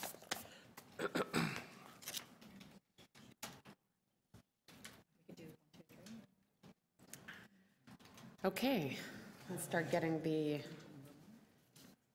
motion number one. All those in favor? Number two? All those in favor? That carries. And number three? All those in favor? That carries. Motion four? All those in favor? Any opposed? That carries. And last one, motion five. All those in favor? Any opposed? And that carries. Item as amended. All those in favor? And that carries. Thank you. Uh, Item 4.2, actually, so uh, Toronto Heritage Grant Awards. I think we just need a motion to, Counselor uh, Perks, all those in favor? And that uh, against, seeing none, that carries. Item 4.4. Uh, Official plan review, draft transportation policies and consultations. And we have speakers, Raymond Chen. Oh, there you are. Thank you. Hi, um, good morning. I ask this committee to, one, instruct staff to provide evaluations of the merits of the 30 projects on map four of the official plan, and two, instruct staff to propose a comprehensive long-term master transit plan. Our current transit problems, overcrowding, Yonge-Bloor, better need for transit to Liberty Village, Humber Bay, and Scarborough, are due to failures of past city councils to plan for projects. This committee must recognize the importance of good public transit. Good public transit provides mobility in less fortunate neighborhoods to jobs outside their zone, fostering economic well-being, and allowing residents to bring home culturally sensitive or more nutritious food found outside their immediate neighborhood. The city must stop approving funding first, then finding out later the project doesn't work. It should spend time to develop a core strategy. This avoids the short-term scrambles that are so apparent in yesterday's report, Transit, Ex- Transit Expansion Program Update and Next Steps. The emergency add-on projects included the Exhibition Loop, Dufferin Loop Streetcar Connection, and Bloor-Yonge Capacity Improvement, two projects I've never heard of and are not included in Map 4 of the official plan. On February 17, 2019, 22 councilors received an email with the subject line, "Official Plan." It included four suggestions to be added to Map 4 and predicted the March 26 subway upload outcome. So to the top left, City Council. In the top right, an early draft of Map 4 the official plan. In the center is one person's take of Map 4. To the bottom right, you don't see it, is the rejected Map 4. The placard reads, Ford's Transit Plan coming soon. The city had six weeks to plan for the March 26th memo. This committee and city council must not ignore the importance of MAP 4. The city doesn't have a compelling transit plan worth fighting the provincial government over.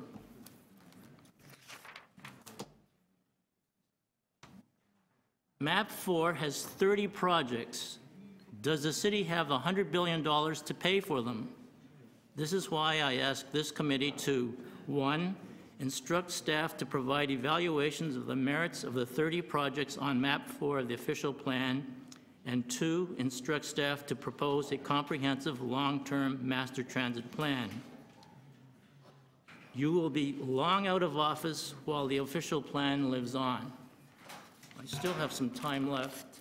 So this is map four per the official plan, that's attachment eight.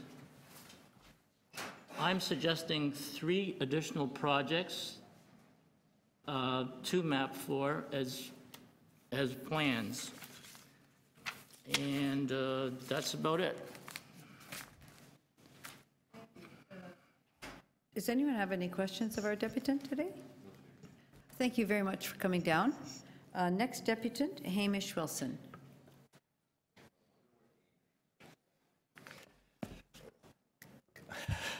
Well, thank you, Gord. Good morning. You have five minutes. Thank you. Thanks for hauling in. Um, Yeah, Uh, So I'm a bit late to all of this uh, in some ways. Uh, Certainly, there's been a lot of work done already, and uh, thank you, and yet also some inadequacies. Uh, And certainly, we're all finding out just what is the point of planning these days. It must be incredibly frustrating for all of, all of you. Uh, We think we've got something happening, and then our great premier fact, the Doug Tater, uh, comes in, rips them all up, and on we go, and what happens? So with that point in mind, considering that we're actually uh, not sure uh, what's happening with the Scarborough subway and how ludicrously expensive, it's not good value. So I really think uh, item four, on recommendation four, uh, Planning and Housing Committee requests the Chief Planner and Executive Director of City Planning to submit a final recommendation report uh, to, uh, on, on the transportation of the Scarborough Centre secondary plan. Don't have the meeting. Start the withdrawal from this very costly Scarborough subway extension. Uh, do not have this process. Start backing away from the Scarborough subway right here, right now. Um, we just found out over the weekend that there's another at least uh, 400 million, uh, yeah, 400 million dollars that wasn't actually uh, brought forward at the time, it seems, and we need to squeeze those billions. Uh, and with respect to the people in Scarborough, they need better transit. Uh, we have to spend money out there, but uh, there's this wonderful report from the TTC uh, making headway, capital investments to keep transit moving. There's an awful lot of cost there that's not uh, uh, taken care of. And in terms of your official plan, this, this particular thing, there's talk about keeping things in good repair.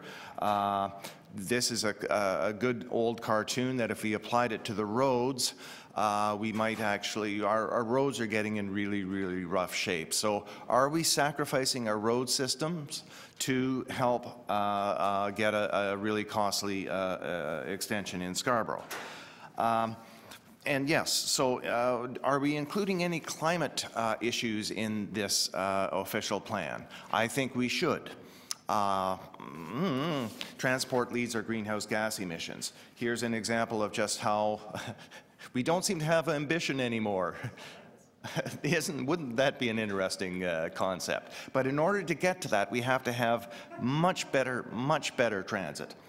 Um, and so that gets to uh, uh, the uh, uh, um, uh, map four that the previous Raymond got to as well. There's an, there are some things that aren't in there that should be, I think.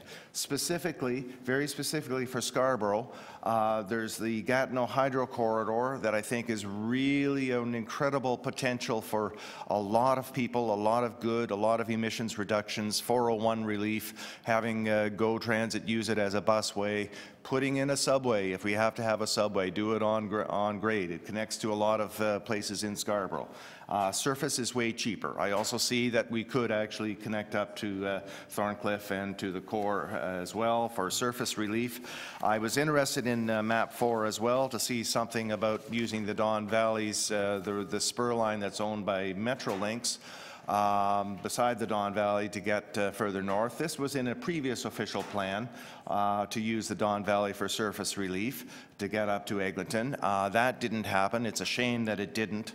I think we need to be focusing on surface relief as a means of, of actually getting things uh, done up to Bloor and beyond. This is from the 40s. Uh, with other transit things, uh, I, I feel that we, we are on map four, we are using Queen Street again. I don't think that's appropriate. I think we need King Street, as the TTC actually suggested uh, a few years back. So I'm not happy with the relief uh, line uh, uh, allocations. I think we should do the broad corridor of King Queen. Uh, with biking, I'm sorry, to, and there's lots more to go on about. Oh yes, with biking, here we are. Uh, if we had surface relief uh, with a bikeway, in London they estimated uh, relief uh, with a good bikeway uh, as much as 10%. We need to have the, the, the built-in bikeway relief of transit. We have so many gaps. Uh, do we have a listing of those gaps? I'm sorry to see that we're having the, uh, the bike plan, uh, the old 2001 bike plan cut. You're not really still responding yet to the, uh, the, uh, the harms and crashes of where we're getting hurt, including the streetcar track hazards. Uh, you need to be especially careful with the maintenance. I'd like to see that baked into this official plan. Where there are streetcar tracks, you have to have exceptionally good maintenance and enforcement of uh, parking regulations. I could go on, but I think I'm out of time.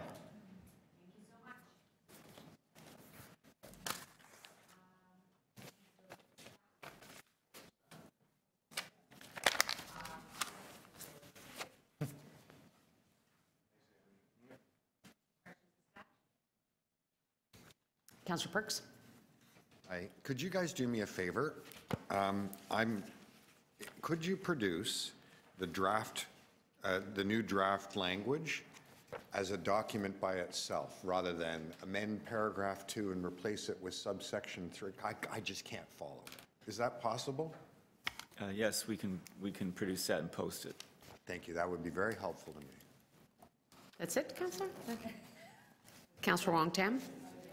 Thank you very much. I just, with respect to the the December 12th, 2018 stakeholder workshop, um, there's 26 stakeholders that you invited to participate in, in reviewing some of the language and the direction of the new policy. Uh, I'm just curious to know, uh, because it says that only 14 of those stakeholders actually attended, was there another way to communicate with those stakeholders did- who did not attend so that their feedback could still um, uh, be gathered in a, in a systematic way to inform the process? Through the chair, we uh, shared all the, the uh, materials from that meeting with everyone who was invited and uh, gave them the opportunity. That was a committee or a, a group of stakeholders that represented a cross-section of major, uh, major interest groups related to transit and cycling and the transportation policies. Understood. And with respect to um, the, the groups that were then responding, uh, how many of them actually provided written responses, not just the ones who attended? Uh, I'm sorry, off the top of our head, we don't have the number of written responses. We did take things back, uh, detailed notes at the meeting, and, and also copies of uh, marked up uh, comments from the participants at the meeting. Okay. Um, I'm just curious because there are organizations such as Sistering, which is a 24-hour women's drop-in center, uh, as well as the Toronto Women's City Alliance, which actually has been defunded by the city, um, and they don't have full-time staff. Um, Just curious to know, how many of, how, how many women's voices uh, were included in the feedback pertaining, especially with respect to um, the vulnerability of certain road and transit users and the issue around safety and how we actually design new transit transportation systems with their um, uh, needs in mind for the future. Through the chair, uh, attachment 10 includes all of the written responses we received, and it included at least two uh, specific from women cycling advocates. Okay, and was there any further uh, deep dive into, in terms around safety?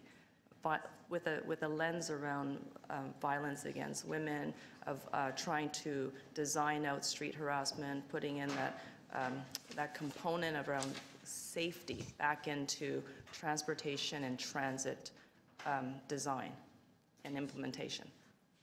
So through the, uh, through the chair, we have included uh, in this some new pro- pro- proposed policies that relate to public realm around, uh, around transit facilities that would also deal with issues of safety and accessibility. So those, those issues are specifically addressed in the context of, of the proposed policies. Uh, But Did it go through a, sorry, did it go through a gender lens? Uh, A gender-based analysis? So th- through the chair, there was not a formal gender-based analysis. There was certainly a cross-section of, of uh, participants at our meeting that reflected um, a broad range of different perspectives. So I'm going to focus uh, again on the vulnerable, the, the challenges of keeping certain road and transit users safe, especially those who are vulnerable. And this would go, I mean, obviously it would apply to women, but it would also apply to children. It would apply to uh, the elderly and people living with disabilities. And from what I can tell from the stakeholder discussions, there isn't, there isn't much um, from those sectors that are represented in this uh, particular um, uh, document so far, um, it's, uh, it's still, I guess, early days, early enough days. There's still more consultation ahead. Uh, Would you be agreeable um, to broadening this uh, consultation group? Through the chair, certainly we would welcome any suggestions on additional groups and uh, um, issues to, to consult about related to the transit policies. The other thing that I would point out is that uh, this is this is the high-level policy framework, and the other thing that the other initiative under underway right now is through transportation services with the update of the cycling strategy, which is much more granular and would get into um, more specific issues around safety in the design of our cycling facilities. So this is being captured in different ways. But uh, again, we would be, we would welcome suggestions on on groups and approaches to consultation. Okay, Thank you very much. Thank you. Any other questions of staff? Uh, I do have one. Um, I was going through, when I was reading the, um, uh, actually, council directions, I thought it was extremely interesting that back in 2015, we asked uh, Planning and Growth to develop an appropriate process to measure and monitor the cumulative effect of development on transportation congestion. congestion. We get these, these issues in every meeting we have about a new development coming to our communities, first question is, how about transit? How are you dealing with transit? So can you let us know very briefly, like what exactly is the process that you're dealing now? Um, and how does it feed into TTC, into, into planning, tra- uh, transportation planning? Um, and, and when I say TTC, not only the planning of new projects, but actually the day-to-day operations. How are you feeding this information? Uh, To the chair. Uh, I'd answer the question um, in terms of scale. So I think at a, at a development application scale, uh, the city requires uh, submissions with those development applications, as you're likely aware, traffic impact studies and associated um, work that uh, measures the, uh, the impact, the transportation impact of that particular proposal. That information is shared with the TTC, Transportation Services, and depending on where you, in, where you are in the city, that's evaluated to determine um, the impact on that particular site and neighborhood. Uh, It is very much on our radar through city planning and transportation services to be aware of the cumulative impact in those particular neighborhoods. I would say as you scale it up into a secondary plan area, for example, such as Don Mills and, and uh, Golden Mile that we had this morning, we're looking at those issues, overall congestion, transportation um, demands, vehicular, all modes, through that neighborhood scale lens. So those issues very much part of, uh, for example, Golden Mile Transportation Master Plan would come along and is coming along with Golden Mile.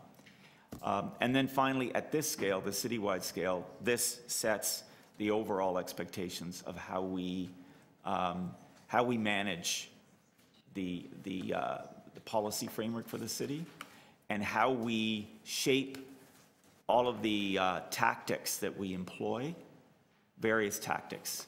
Um, One piece of work that's in the middle between a lot, a lot of those tactics and the, and the high-level policy is uh, work that we're doing with the TTC and Transportation Services on a mobility strategy. We're looking at some of the issues that you're raising around what we can do to better inform and measure uh, our performance, the city's performance on, on uh, transferring people to different modes, on the actual impacts that we're having on people and communities. So that's some work that's currently underway that we're uh, trying to develop uh, that has been done. It's similar to Transportation Master Plan, but it's similar right that- to work that's been done in other cities. But right now, we don't have data that says, you know, this corridor can sustain these many uh, riders, and these are the modes of transportation. So red flag goes in because we're approving way too many developments, way more than. We have nothing in here. I know, but we have. Through the chair, I mean, uh, the, the, uh, the difference between water infrastructure and transportation infrastructure is that You know which direction the water's going into and out of the building, and it's always going in the same direction. With the transportation network, people use it in so many different ways, and they use one mode on one day to get to one place and a different mode in another day. So it's, it's not quite the same sort of capacity uh, constraint issue that we are dealing with. Uh, Not that there aren't capacity constraint issues, but the other thing that the official plan talks about is encouraging, uh, encouraging more um, active and sustainable transportation and also looking at our network to move more people through the same infrastructure, which is why there's such an, an emphasis on public transit in order to be able to That's, move it's more. It's almost like telling me that it's impossible to plan, to plan for a good transit network because people are going to use it in different ways all the time. Uh, So so that wasn't what I was suggesting through, um, Madam Chair. What I was suggesting was that, or- or what I would respond to that is that we do need a very well-developed transit network that provides options and a fuller build-out of the network so that people have those different choices about how they get around and that the network, the transit network provides them many different ways to get to where they need to go. So what, what I don't get from this, and I know that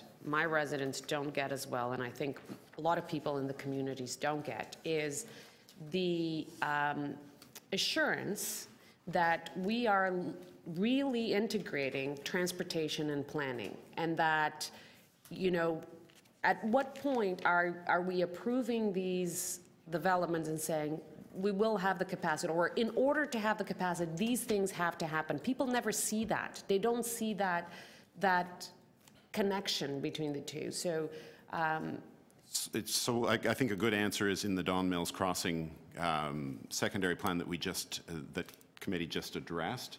There is uh, a plan that builds out the street network and builds out active transportation corridors in that. There's also a monitoring program built into that secondary plan that as development is progressing, we are looking at uh, how, how does our plan work? And, and also as certain things are built out, like uh, the, the potential of a Relief Line North extension, what does that do in terms of uh, the, the uh, opportunities for development or the capacity in that area?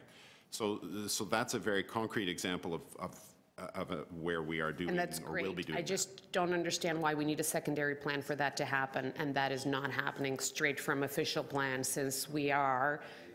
Um, Why do I need to do a secondary plan in order to guarantee to my residents that that is happening? Well, they may, if, uh, they may be experiencing congestion as it stands today or, or difficulty with the street network as it stands today. Uh, We're doing a secondary plan in those areas that we saw this morning because we are anticipating growth of tens of thousands of people and a new transit line under construction.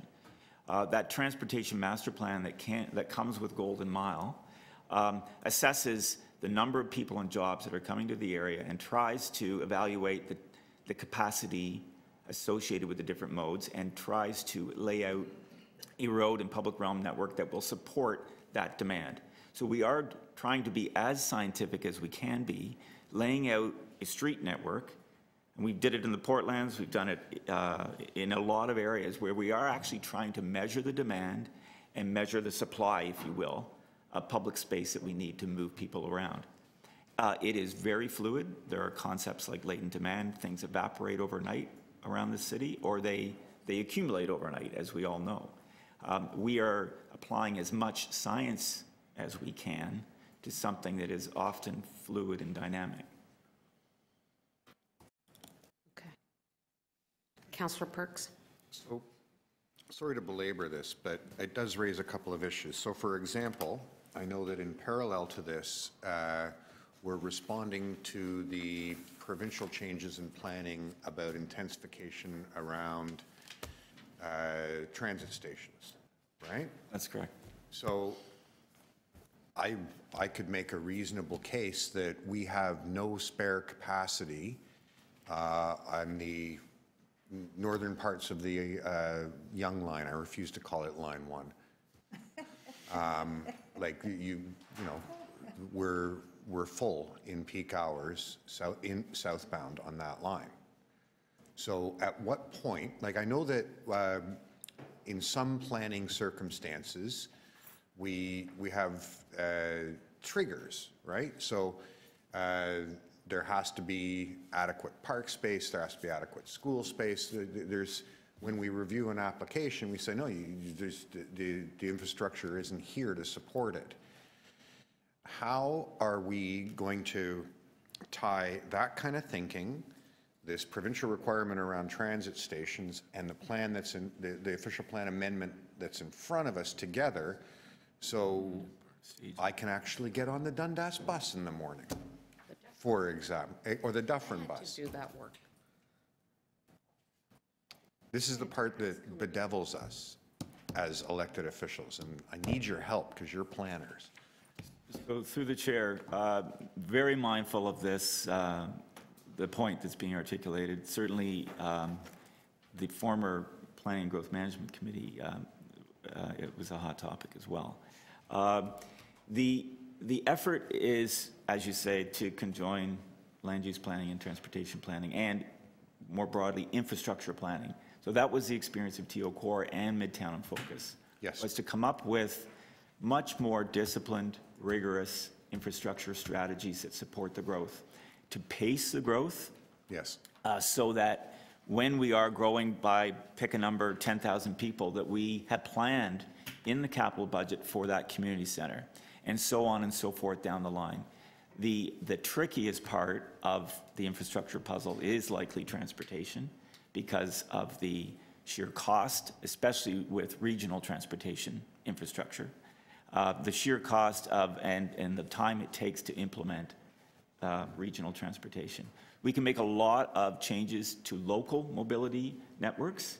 We've experienced improving sidewalks, adding bike lanes, improving streetcar lines. So we can do a pretty good job improving the utility of our streets, and that's what Complete Streets is all about. Yes. Squeezing as much juice as we can out of what we got.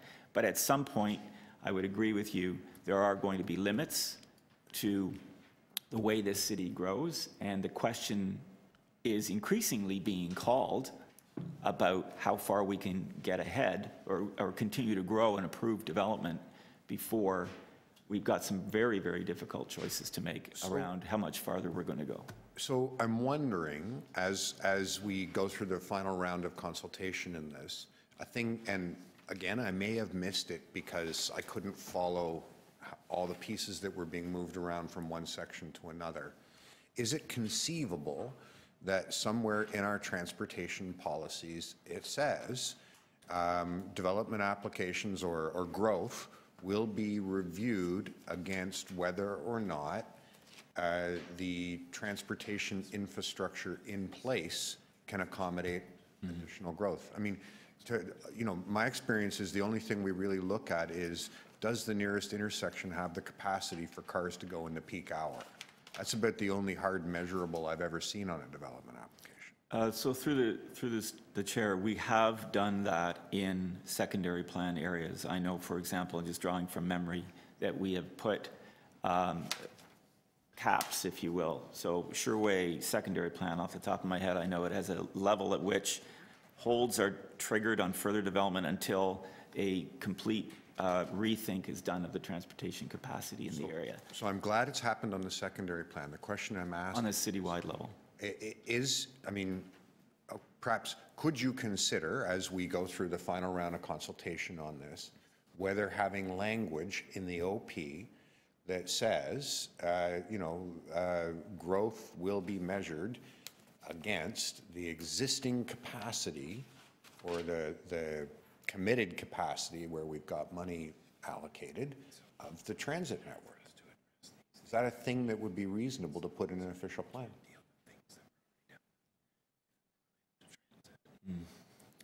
Could you Uh, think about it? But definitely in thinking about it as you're, as you're speaking, to be quite honest with you, I think it's, you're, you're raising uh, uh, a significant but real challenge. And the language, what we've got in front of you right now is a package of proposed amendments to go out for consultation. Um, What you're raising is an additional thread, if you will, to uh, consider as we, as we go forward. We'll look at it very closely. Okay. I just have to understand how it ties into what we've actually Yeah, no, I know it's. a- drafted to date. It's like a, it's 12-dimensional chess, these policies. so That's if you one way of putting Have it in mind. Thanks. Thank you. Any other questions Councillor Robinson? Thank you. Um, Just, uh, you know, I- I've talked to death about Yonge and Eglinton for eight years and what's happening there and how disenchanted people are there. But um, my question is just on the transit file.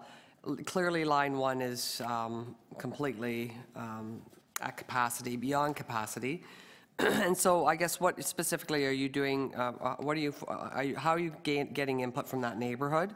And I guess one of my questions would be, um, SERRA is an impressive um, BI, not BIA, Residents Association, Ratepayers Association there, and they've done a lot of analysis on this.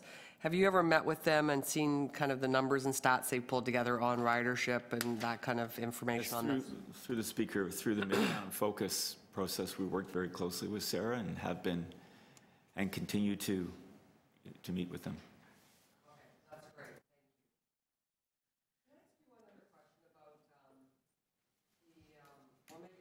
Th- This is really about consultation, so I won't, I won't ask it. I'm going to go off on another tangent on transit. It's okay.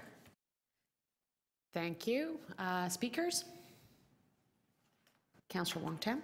Uh, Yes, thank you very much. Um, I do have a motion to move, and thank you very much for the clerks for putting it on the screen.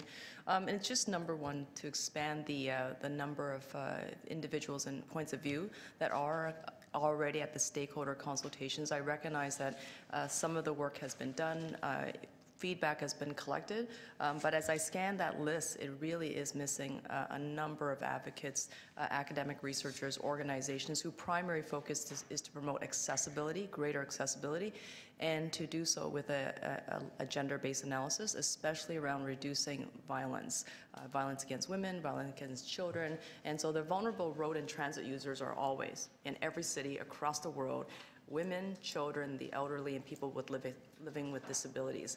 And if we're going to be uh, changing the language and the, and the, um, and the structure uh, of the official plan as it relates to transportation and transport, I think that we can't move on without dealing with the lived experiences uh, and the real needs of those who are going to be um, dramatically impacted. Uh, majority of the transit users are women.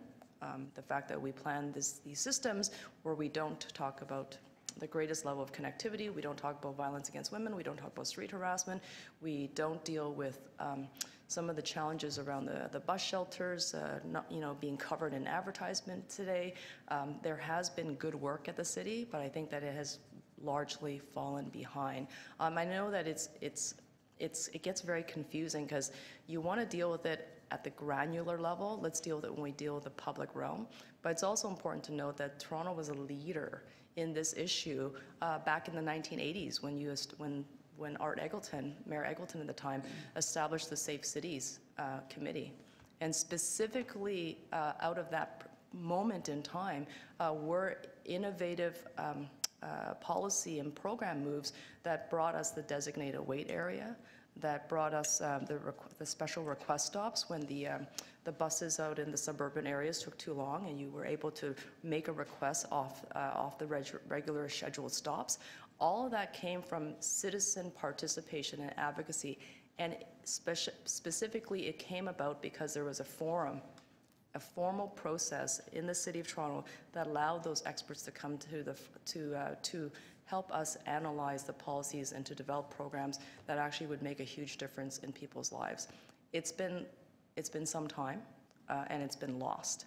And it's been very difficult because I think I've moved so many of these motions where I want us to just approach decision-making at the city knowing that it has to be deal standard.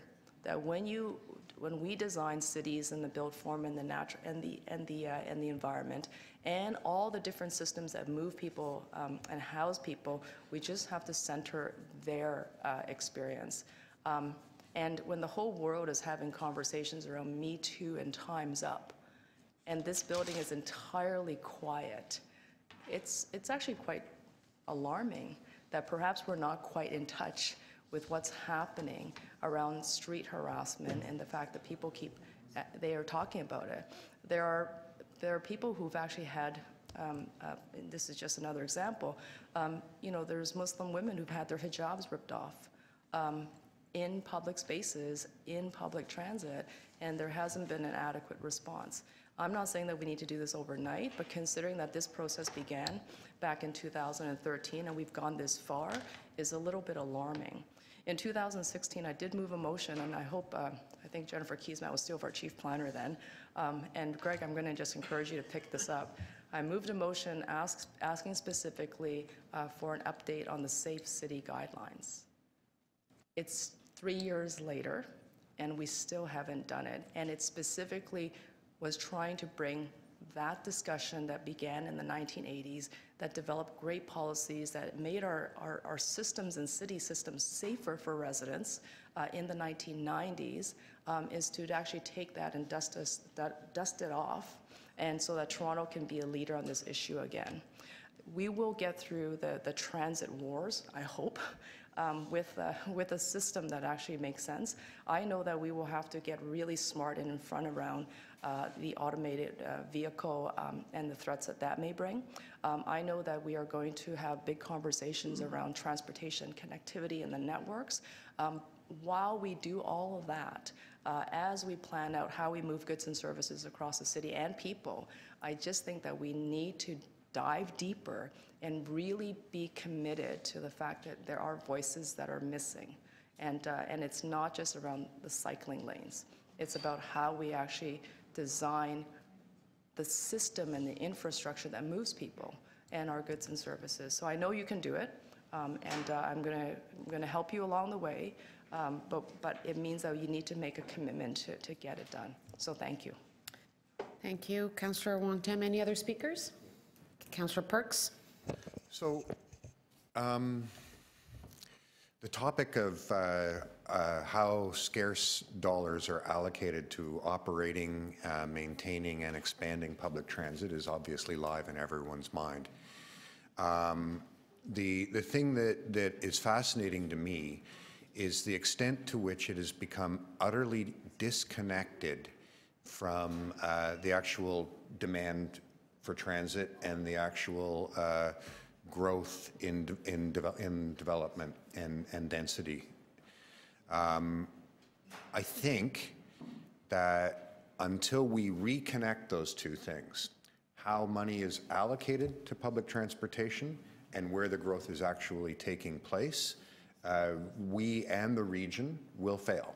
And scarce dollars will be, sent, will be spent in the wrong place doing the wrong things uh, meaning we'll have empty subway trains running back and forth on some line somewhere while uh, areas of the city fail because of the, the congestion in our transit system.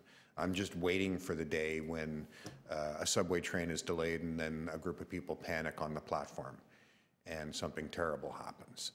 So I think it's, it, we have to take this moment in this planning to make it very, very clear uh, to, to Torontonians, to other municipalities, and to the province of Ontario that if we don't get this relationship right, the development industry fails, our gov local governments fail, and our money disappears chasing rainbows. So I, I'm, I'm very keen that in the next and final round of this conversation, we start to make it much more explicit in our official plan that development can only take place in parallel with investment, not just in infrastructure, but also in operations and rolling stock and all the other things that make a transit system go. Thank you. Any other speakers? Um, I would like to say uh, a few words. I was um, really intrigued with this recommendation from 2015 because like I said in my questioning, every development meeting that I go to, that is the first thing the community asks. And I think it is because they don't feel, they don't understand how we're doing this work. They're not confident we're doing this work, and it's creating unrest out there. And to be honest with you, I talk with a lot of people uh, about this issue, and uh, uh, the other day I reflected on this because I had somebody that, you know, very involved in urban issues, and it was telling me that, you know, there's a lot of education that we need to do out there. And uh, this was about the growth. The city needs to grow uh, by, and we all know we need, we're growing by a million people in the next 20 years, and we need to educate people. And I, I said, you know, maybe it's not so much about us educating them, but it's more about us educating ourselves and understanding more what is driving this opposition. What, why are people sometimes so against some of these things? And one of the things that I hear constantly is this relationship. They don't understand, they don't feel confident we're doing a good job in the approval of all this development that is happening, the growth that we're doing in the housing with the transportation network, with the development. And we haven't done, you know, a pretty good job in the past. I mean, I, we're very close to Liberty Village, and in the physical form of Liberty Village, everybody agrees it was great, but the transportation is not there. And so people continue to go back to these examples and say, we as a city need to do better. And we as a city need to make sure that we explain this better. If we want people to accept the growth that is coming, uh, to, to be supportive of this growth, we need to understand that the growth is not only on the bricks and mortars of, of the, the houses, but it needs to come with the services. And transportation is a huge, huge, big part of it. And people are already feeling the pressure in these systems. So I do think that our official plan, our transportation study, I think we're heading in the right direction. I think, you know, seven, six or seven years ago, I don't think planning even had this much focus on transportation. So I think we're heading in the right direction. But I think we need to be even more clear um, with the processes that we're using and not just saying, yes, we're doing that in a secondary plan. It needs to be our official plan that needs to do this the conversation, even for us, with, with the, the, the political side, with the TTC, and with the, the, the, the planning and the transportation department, needs to be a lot more open and a lot more active and a lot more transparent to the public as well, so that they feel the confidence. So when we go out and talk about planning and talk about a new development, and talk about the growth of our communities, they feel like we're addressing the different components, uh, from you know the cycling network to the, the, the transit and, and the traffic to you know, the, the bricks and mortars and the buildings that are coming. So that was that. Can I say one minute? Yes. You inspired me to speak just for one minute. Um, Yeah, I guess I just have to bring up Yonge and Eglinton and what's happened there, and just watching for eight years the development ha- activity, and just no match, uh, no matching up of the transit services in the area. Whether it's north or south of Eglinton, um, most of it's east, not so much west, but it's just unprecedented what's happened there. And uh, I know a number of councillors are aware of it, but some still aren't. And I encourage people to go up to that area or to look at a map of what's being proposed because uh, it's going to be a crisis there. That's the only word for it. If it's not already, people are waiting several trains to get on peak hours, uh, not just at Eglinton, but also at Lawrence and York Mills. So uh, I think what the chair is saying is uh, right on the money, and uh, we have to do we much we have to do a better job of of being proactive. So thank you for those uh, for this report. It's exciting. Thank you. Seeing done that, all those in uh, favor of uh, Councillor Wong Tam's motion? All those against? Seeing none, that carries. Uh, Item is amended. All those in favor and all those against, and that carries. Thank you. Uh, Chair, I have to go on a radio interview at noon, so I'm just, not to interrupt this item, I will excuse myself since Councillor Robinson's here, and now you have quorum, so. Thank you. So item 4.5, Committee of Adjustment Panel Size and Structure, and we do have deputants, and we'll start with uh, Ron Jamison. Ron?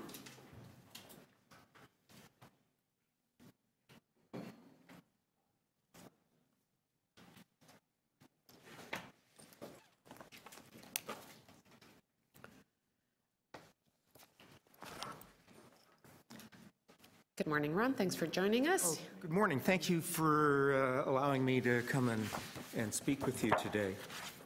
Um, It's a bit of a scramble for us to get uh, our deputation organized, uh, figuring out who has the time to come and who's going to write up what we're going to say. But uh, um, Madam Chair, members of the committee, uh, I'm here today on behalf of the Long Branch Neighborhood Association to offer some additional suggestions regarding the Committee of Adjustment panel size and structure.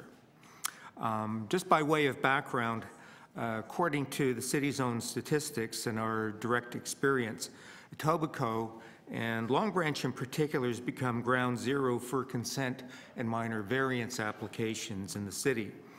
Uh, Over the nine-year period from 2010 to 2018, Long Branch has had 93 applications to sever residential properties, more than any other neighborhood in the city. We have three principal issues with the Committee of Adjustment that uh, we we feel have an impact on the size and structure.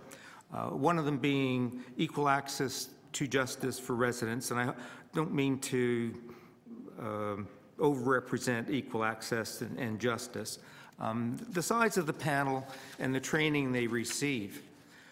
Um, We'd like to maximize resident participation in the planning process, but because Committee of Adjustment hearings are normally held during what, for most people, is the working day, it can be challenging for people to take a day off to attend and participate in the hearings. Uh, For those who are not on salary, taking a day off might mean that they're foregoing a day's income to do so. While on the other hand, for the city staff, the lawyers, the planners, uh, all of those people are being remunerated for their time at such hearings. Now, we feel this represents an inequality in terms of access to justice by offering a disincentive for blue-collar residents to participate in the planning process. We agree with holding the committee hearings at Etobicoke Civic Center because it has good access to roads, highways, has ample parking, which York uh, Civic Center really was not known for. And since properties in the Etobicoke area predominate on the agenda, it's very convenient for Etobicoke residents. We'd like to propose dispensing with a morning session and instead hold hearings in the afternoon and in the evening. In addition, we pro- propose that the evening session be set aside as much as possible to hear consent applications.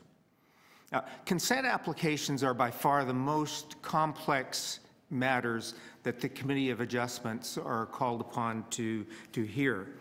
And it's best illustrated by the fact that most of the consent hearings that we've been involved in uh, normally take between 45 minutes and an hour. By comparison, when they go to appeal at TLAB, we're seeing, and we're actually participating in TLAB hearings that are going five to six days. Uh, we have uh, one that uh, we just finished A3 on Monday, and we had finished with the first witness. Currently, the consents tend to get pushed to the end of an afternoon session. And that's a time when everyone, including the panel members, is starting to get fatigued. And I don't think that creates a good environment for good decision-making. By holding consent hearings in the evening, I think it will allow more residents to participate in these important matters without financial penalty, because it gets outside the working day. It also means that panel members will be probably and hopefully fresher and more alert to be able to hear the arguments and to render sound decisions. Now, while it may not be as convenient for the planners and the lawyers, they're still going to get paid for their time. Our preference would be for one hearing a month to ease the burden for residents associations such as ours. Um, we want to be actively involved in, in the process, but we're also the ones who tend to be leading, organizing, and presenting uh, to committee hearings. And sometimes it, it's a, an issue for us because we may have a TLAB hearing going on at the same time as a Committee of Adjustment hearing. So who's going to attend what?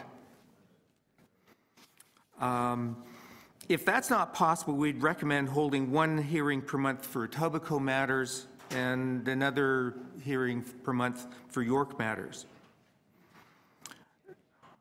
Sorry, I'm going to have to ask you to wrap up. Okay.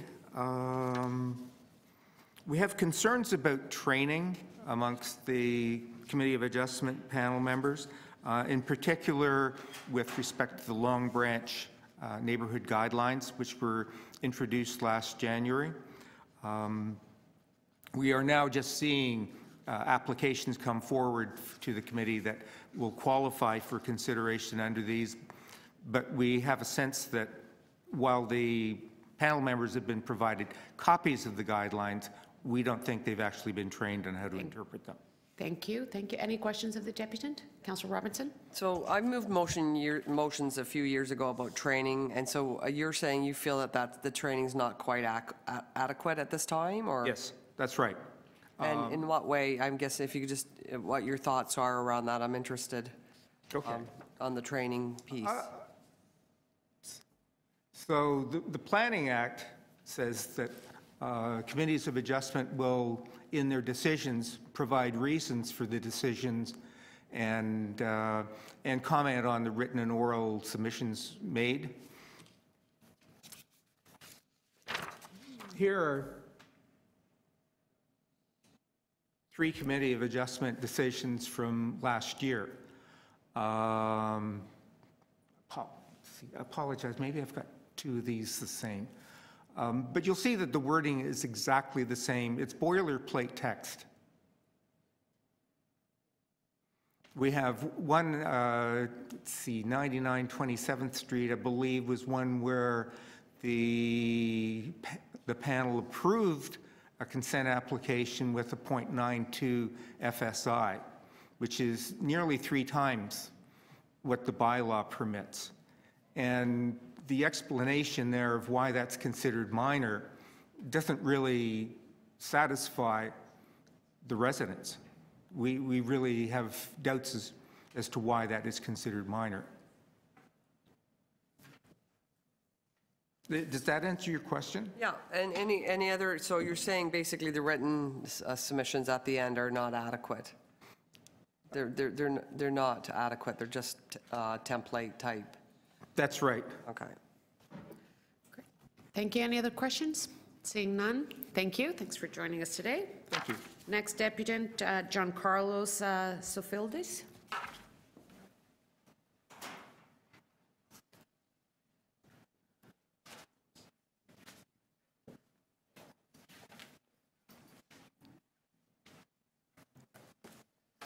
Good afternoon. It's a joint presentation? Okay, so John and Paula. Yes. Nuda. Okay, go ahead.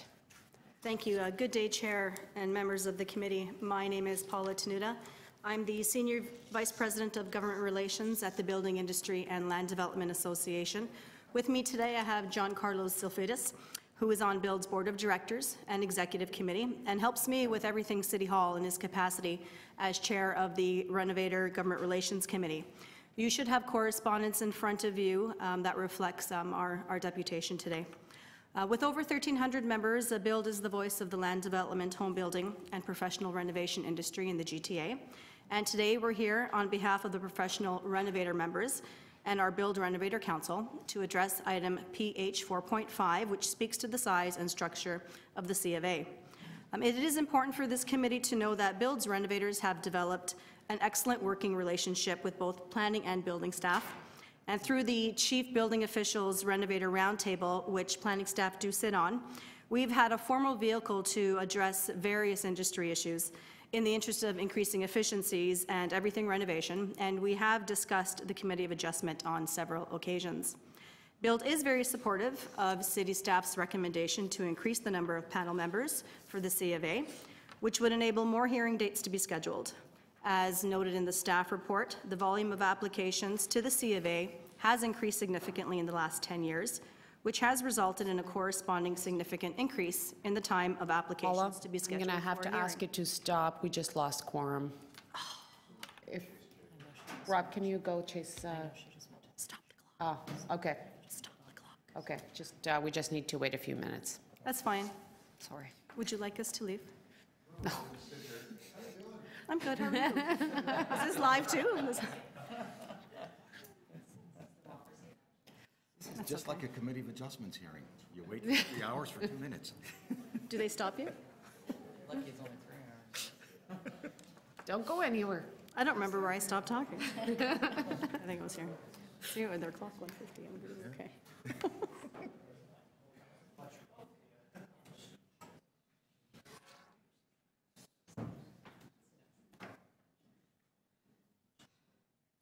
Okay, we'll be done. I don't think this has ever happened in my 20 years. Yeah, I've never seen. It's Very calm, though, I like it.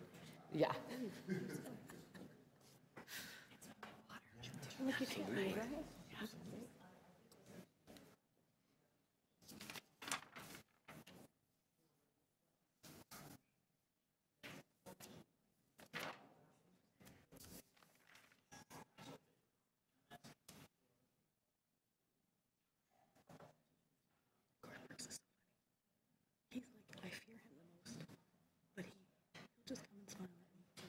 So are the Leafs going to win the Stanley Cup?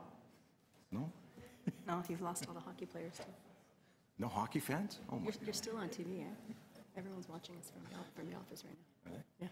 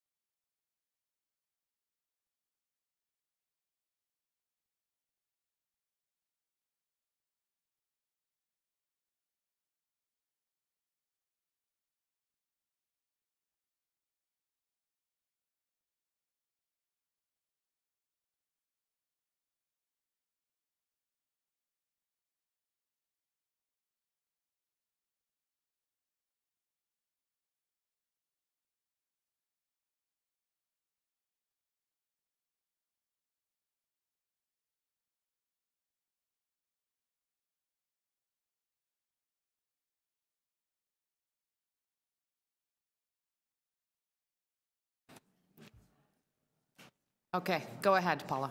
Sorry about that. No, that's okay, thank you.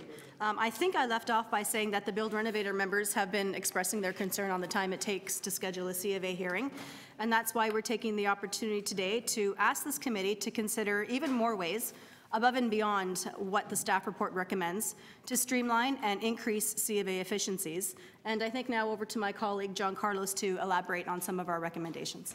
Thanks, Paula. Good afternoon, uh, Madam Chair, committee members, ladies and gentlemen. It's a pleasure to have this opportunity to address you today. Uh, We believe the staff report's recommendations are a step in the right direction. It's no secret that the COA is not meeting service standards we should expect, and we can and must do more. First off, we at BILD would suggest that this is an opportune time for the Planning and Housing Committee to direct staff to take a more detailed and comprehensive review of the application process and to examine the feasibility of a separate stream for less complicated COA matters. It makes little sense to hold hearings involving more contentious planning issues, such as how many stories a particular high-rise development should be permitted, alongside truly minor variances such as side yard setbacks or the size of a rear deck. Many of our members, and clients for that matter, wait for hours to be heard at committee meetings after waiting for months for a date, only to have their item dispensed with in mere minutes. It would be in the interest of efficiency and improved service delivery to start looking at ways to create different streams for COA matters so as to enable the less complicated ones, and I would suggest most renovation items, to be processed in a timeline that respects the provisions of the Planning Act, that being 30 days. None of us want to keep our homeowners waiting for more than they need to, and this would be a step in the right direction. This leads to my second point. We are recommending that this committee ask staff to report on the types of variances being presented to COA and then to make a determination as to why. If there's a commonality and an abundance of the same type of variances, then perhaps it would be time for the city to examine different options to address these applications. We have already suggested one, and that's to create a separate stream, but we might have to examine the zoning bylaws themselves. As an example, in the old city of Toronto, prior to bylaw 569, if you wanted to do an addition to your house, a rear addition, you can build it in line with that house, even if that house didn't respect the setback requirements. No variance was necessary. Today, it is. As you know, the infill and construction and renovation industry has now eclipsed the new home industry in terms of size and economic impact. In fact, we are larger than the auto industry. In the city of Toronto alone, last year, the industry generated almost 6 billion in investment value, created over 55,000 jobs, paying about 3 billion in wages. We are a significant economic driver of the city, and with your help, we will continue to be so. Our members that BILD are the professionals in the industry who don't run away at the first sign of an inspector. We are, uh, we are proud of the constructive working relationship we have with the city, And though we may have uh, a minor variance in vision from time to time, we're very proud of the work we do and the cooperative uh, manner in which we work with the city. So let's serve the interests of our clients, the homeowners of this great city of Toronto. Thank you. Thank you. Any questions of the deputants? Seeing none. Thank you so much. Questions of staff? Uh, I do have a question of staff. So um, do we keep track of uh, these variances? So do we do regular analysis of, you know, the kind of variances, how often they're coming, how we're dealing? Uh, Back to you, Madam Chair. We actually do keep those stats, and we have previously commented on that before by way of memo to members of council, but that was years ago. So we do know, um, we periodically, every few years, do a run on what are the type of variances that the committee is receiving, and yeah, we have a pretty good handle on that. So it is, um, if it's the will of the committee to share on that work with you, to look at that and, and hear your recommendations on some of that, um, you would think, you would support something like that? Yeah, we haven't done a, a run for a couple of years, but yes, Ah, could so it might be time to could do it. report back. And I'd, I'd also add that um, oftentimes that would lead to uh, consideration of zoning bylaw amendments. So for example, in uh, harmonized bylaw, uh, a lot of the foundational research on recommendations for changes to zoning originate with research that we do on the history of variances. And certainly that would involve community consultation and, uh, example, West Forest Hill, we did an updated zoning study, but we did the research at the committee. committee, to find out, okay, what's happening with those side yards, what's happening with the density patterns, to normalize or right-size the zoning provisions, hopefully reduce the number of times people go to the committee in a way that the community is aware of and comfortable with. Okay. Uh, Councillor Robinson? Thank you. Um, Why, I have a number of questions for you, so I'll ask them very rapid fire, but why don't you shift to the evening? I mean, I hear this complaint all the time, and we heard the first deputant talk about that. Through you, Madam Chair, there was some hearings in the past that were evening scheduled. That was changed in all districts to only day schedule for two main reasons. And uh, that's been previously reported on. One was that because we're trying to deal with the backlog and the average hearing has roughly between 35 and 40 items, it actually takes all day to go through the agenda. So to start it in the evening, we wouldn't finish the agenda. Secondly, we were having trouble with availability of panel members and staff going into the evenings. Okay, and I moved motions, again, a few years back on, well, a whole whack of them on COA, but one was the training, and uh, I remember there was an odd report that came back on that, but again, such a critical piece of the, the effectiveness of this body. Uh, What is happening on training, and what can we do to make them, uh, the the panels more effective? Through you, Madam Chair, we, we have actually uh, ramped up the amount of information we provide to the panel members, and we have been scheduling more hearing, um, more uh, training dates. In fact, on March 5th, myself, Sarah, all the deputy secretary treasurers met with all of the 25 members of the C of A and had a session, a knowledge sh- uh, sharing session. The next one we want to schedule is for when we bring on the new panel members, which are scheduled, we hope to start September 1st, first week of September. Okay, and then um, just on the number, the numbers, I always had, had heard uh, multiple times that my ward, Councillor Filion and Councillor Colle, those three were the top of COA applications in the city. Is that, is that a fact? Is it a fact and does it remain true? Those are the top, top three in the city? You, Madam Chair, I don't have in front of me uh, the data by ward. We have it by Okay. district. We have Could we- up-to-date Could we information. get that at some point? Absolutely. That would be, that would be amazing to see that. And then last question is I'm going to call follow the leader. Um, There's, uh, you know, a tendency from what I, the feedback I get is there's one kind of prominent person on the COA who does their homework and does the proper analysis, visits the site. And then there's a tendency, and this is just what I've heard, so I don't know if it's actually true, that the rest of them just kind of follow that kind of the guidance of that individual or their position. Is that, is there a trend?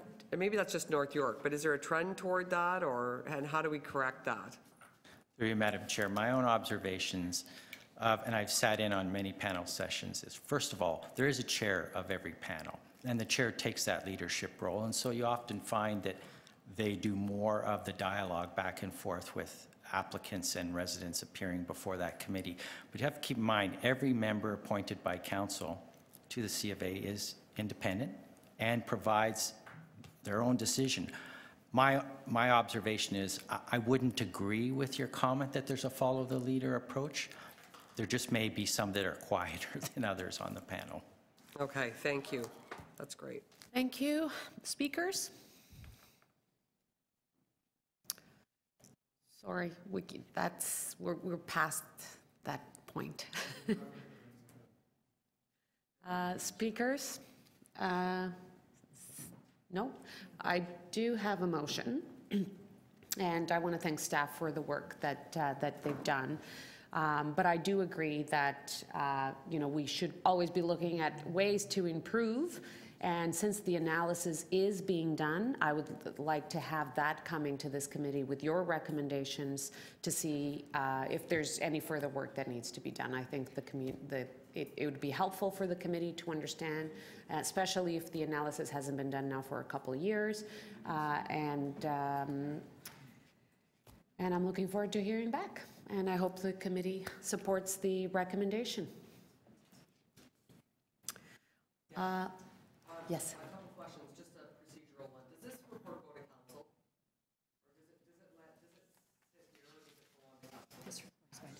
Yes. It goes to council. No, no, no, the report goes to council, yes. Second question is, can you just clarify a bit more? You're saying it's set two streams that for one, uh, applications that are less complex? So what, what, uh, what I heard was that, and, and I, I think uh, it happens a lot in the downtown, uh, there's very complex applications that end up as well in committee of adjustments. So you have a homeowner that is waiting for a variance on a setback uh, that gets to the front of the line and gets dispatched in two minutes after having to wait sometimes hours and hours because those complex applications are being, you know, they're all mixed up. So is there an opportunity to have different times maybe for issues that are not as complex as others? I think it's worth the conversation. Uh, I don't have the answer. I think those, that's, I'm looking forward to having feedback and having the analysis of staff. Um, I think it's, it's worth them looking at, at this. I think it's good feedback. And the second one is all the variances. I think that that staff do this. I, I've asked staff, do you do an analysis of all the variances and are there things that we should be looking at? They do. I think the committee should be uh, informed uh, and have an opportunity to look at that, that analysis and, and some feed, and, and some feedback from staff on, on if there is anything that could be done on some of those variances so we don't have, if, if, if all these people are going to committee of adjustment on a variance that we know happens all the time and that is taking so much time, maybe it's time that we have a discussion and look at it if it needs to be changed or not, and, and we have the conversation with our staff and with the public. Obviously, these things are, are done in a public way. I just think that the, com- the committee should be part of this work, and that's why I'm, I'm asking it to have it report back in here. And another, what would the separate streams look like? Like different times of the day? It, it could be, like, I, I, I don't have, I don't pretend to have the answer. I'm asking our staff to have the conversation. I think they're the experts, and I would, would like to hear from them, them on that. There has been, I, I acknowledge that there is a, an issue. I have, you know, a lot of the residents sometimes feel very frustrated having to wait hours and hours at Committee of Adjustments to have their variance heard for two minutes and then go home. Uh, So is there something that we can do on that? I'm, I'm looking to have staff uh, uh, working with stakeholders on this and, and advise us if there's, if, if there is something that makes sense to do. Coun- uh, Does that answer your question? Yeah, I think so. Thank you. Councillor uh, Wong Tam? Uh, Yes, thank you very much, and thank you for the motion.